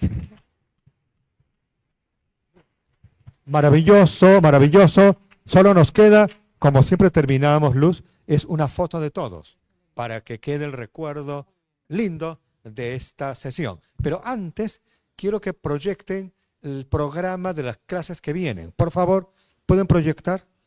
Para que ustedes sepan qué se viene. Y pasen la voz a sus amistades, así como decimos en el Perú. Pasen la voz. Es una linda forma de hablar. Pasen la voz.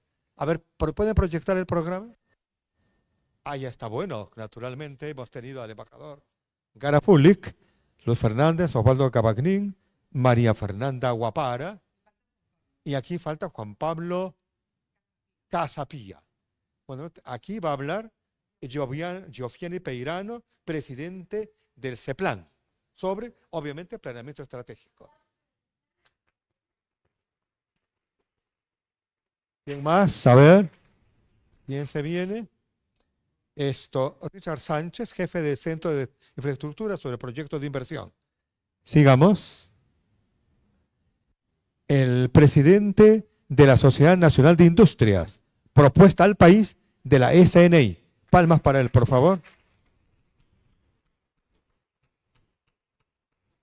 Sigamos. Bueno, el rector, que le dije que el 21 viene a hablar sobre proyecto nacional. Alfonso López Chau, sábado 21 de octubre. Sigamos. Eh, corrientes y geopolíticas nacionales e internacionales, Sara Bombard, representante de Fundación Friedrich Ebert. Ella, ayer nomás he visto una exposición de ella, una persona muy, muy preparada que nos va a dar luces sobre corrientes y geopolíticas nacionales e internacionales. Sigamos. Es Fundación Friedrich Ebert Stiftung. Ricardo Giesecke, eh, ministro que fue en su momento de esto del ambiente, eh, su tema obvio, energías renovables. Sigamos. Nuestro vicerrector, Arturo Talledo, eh, sobre hidrógeno verde, un gran proyecto de la UNI, hidrógeno verde. Sigamos. Ah, ¿Quién va a hablar de oratoria? Alguien que todos queremos. Reinaldo Arenas. Va a tener una, incluso el rector me ha dicho, ah, me apunto, voy a ir a la clase de Reinaldo. Quiero escucharlo. El famoso Tupac Amaru, ¿se acuerdan ustedes de él, no es cierto? Eh, en redacción, Luis Cangalaya es un muy reconocido autor del tema de metodología, de esto, cómo hacer las tesis. Acabo de publicar un libro de él. Va a dar tips muy importantes para ustedes como estudiantes universitarios.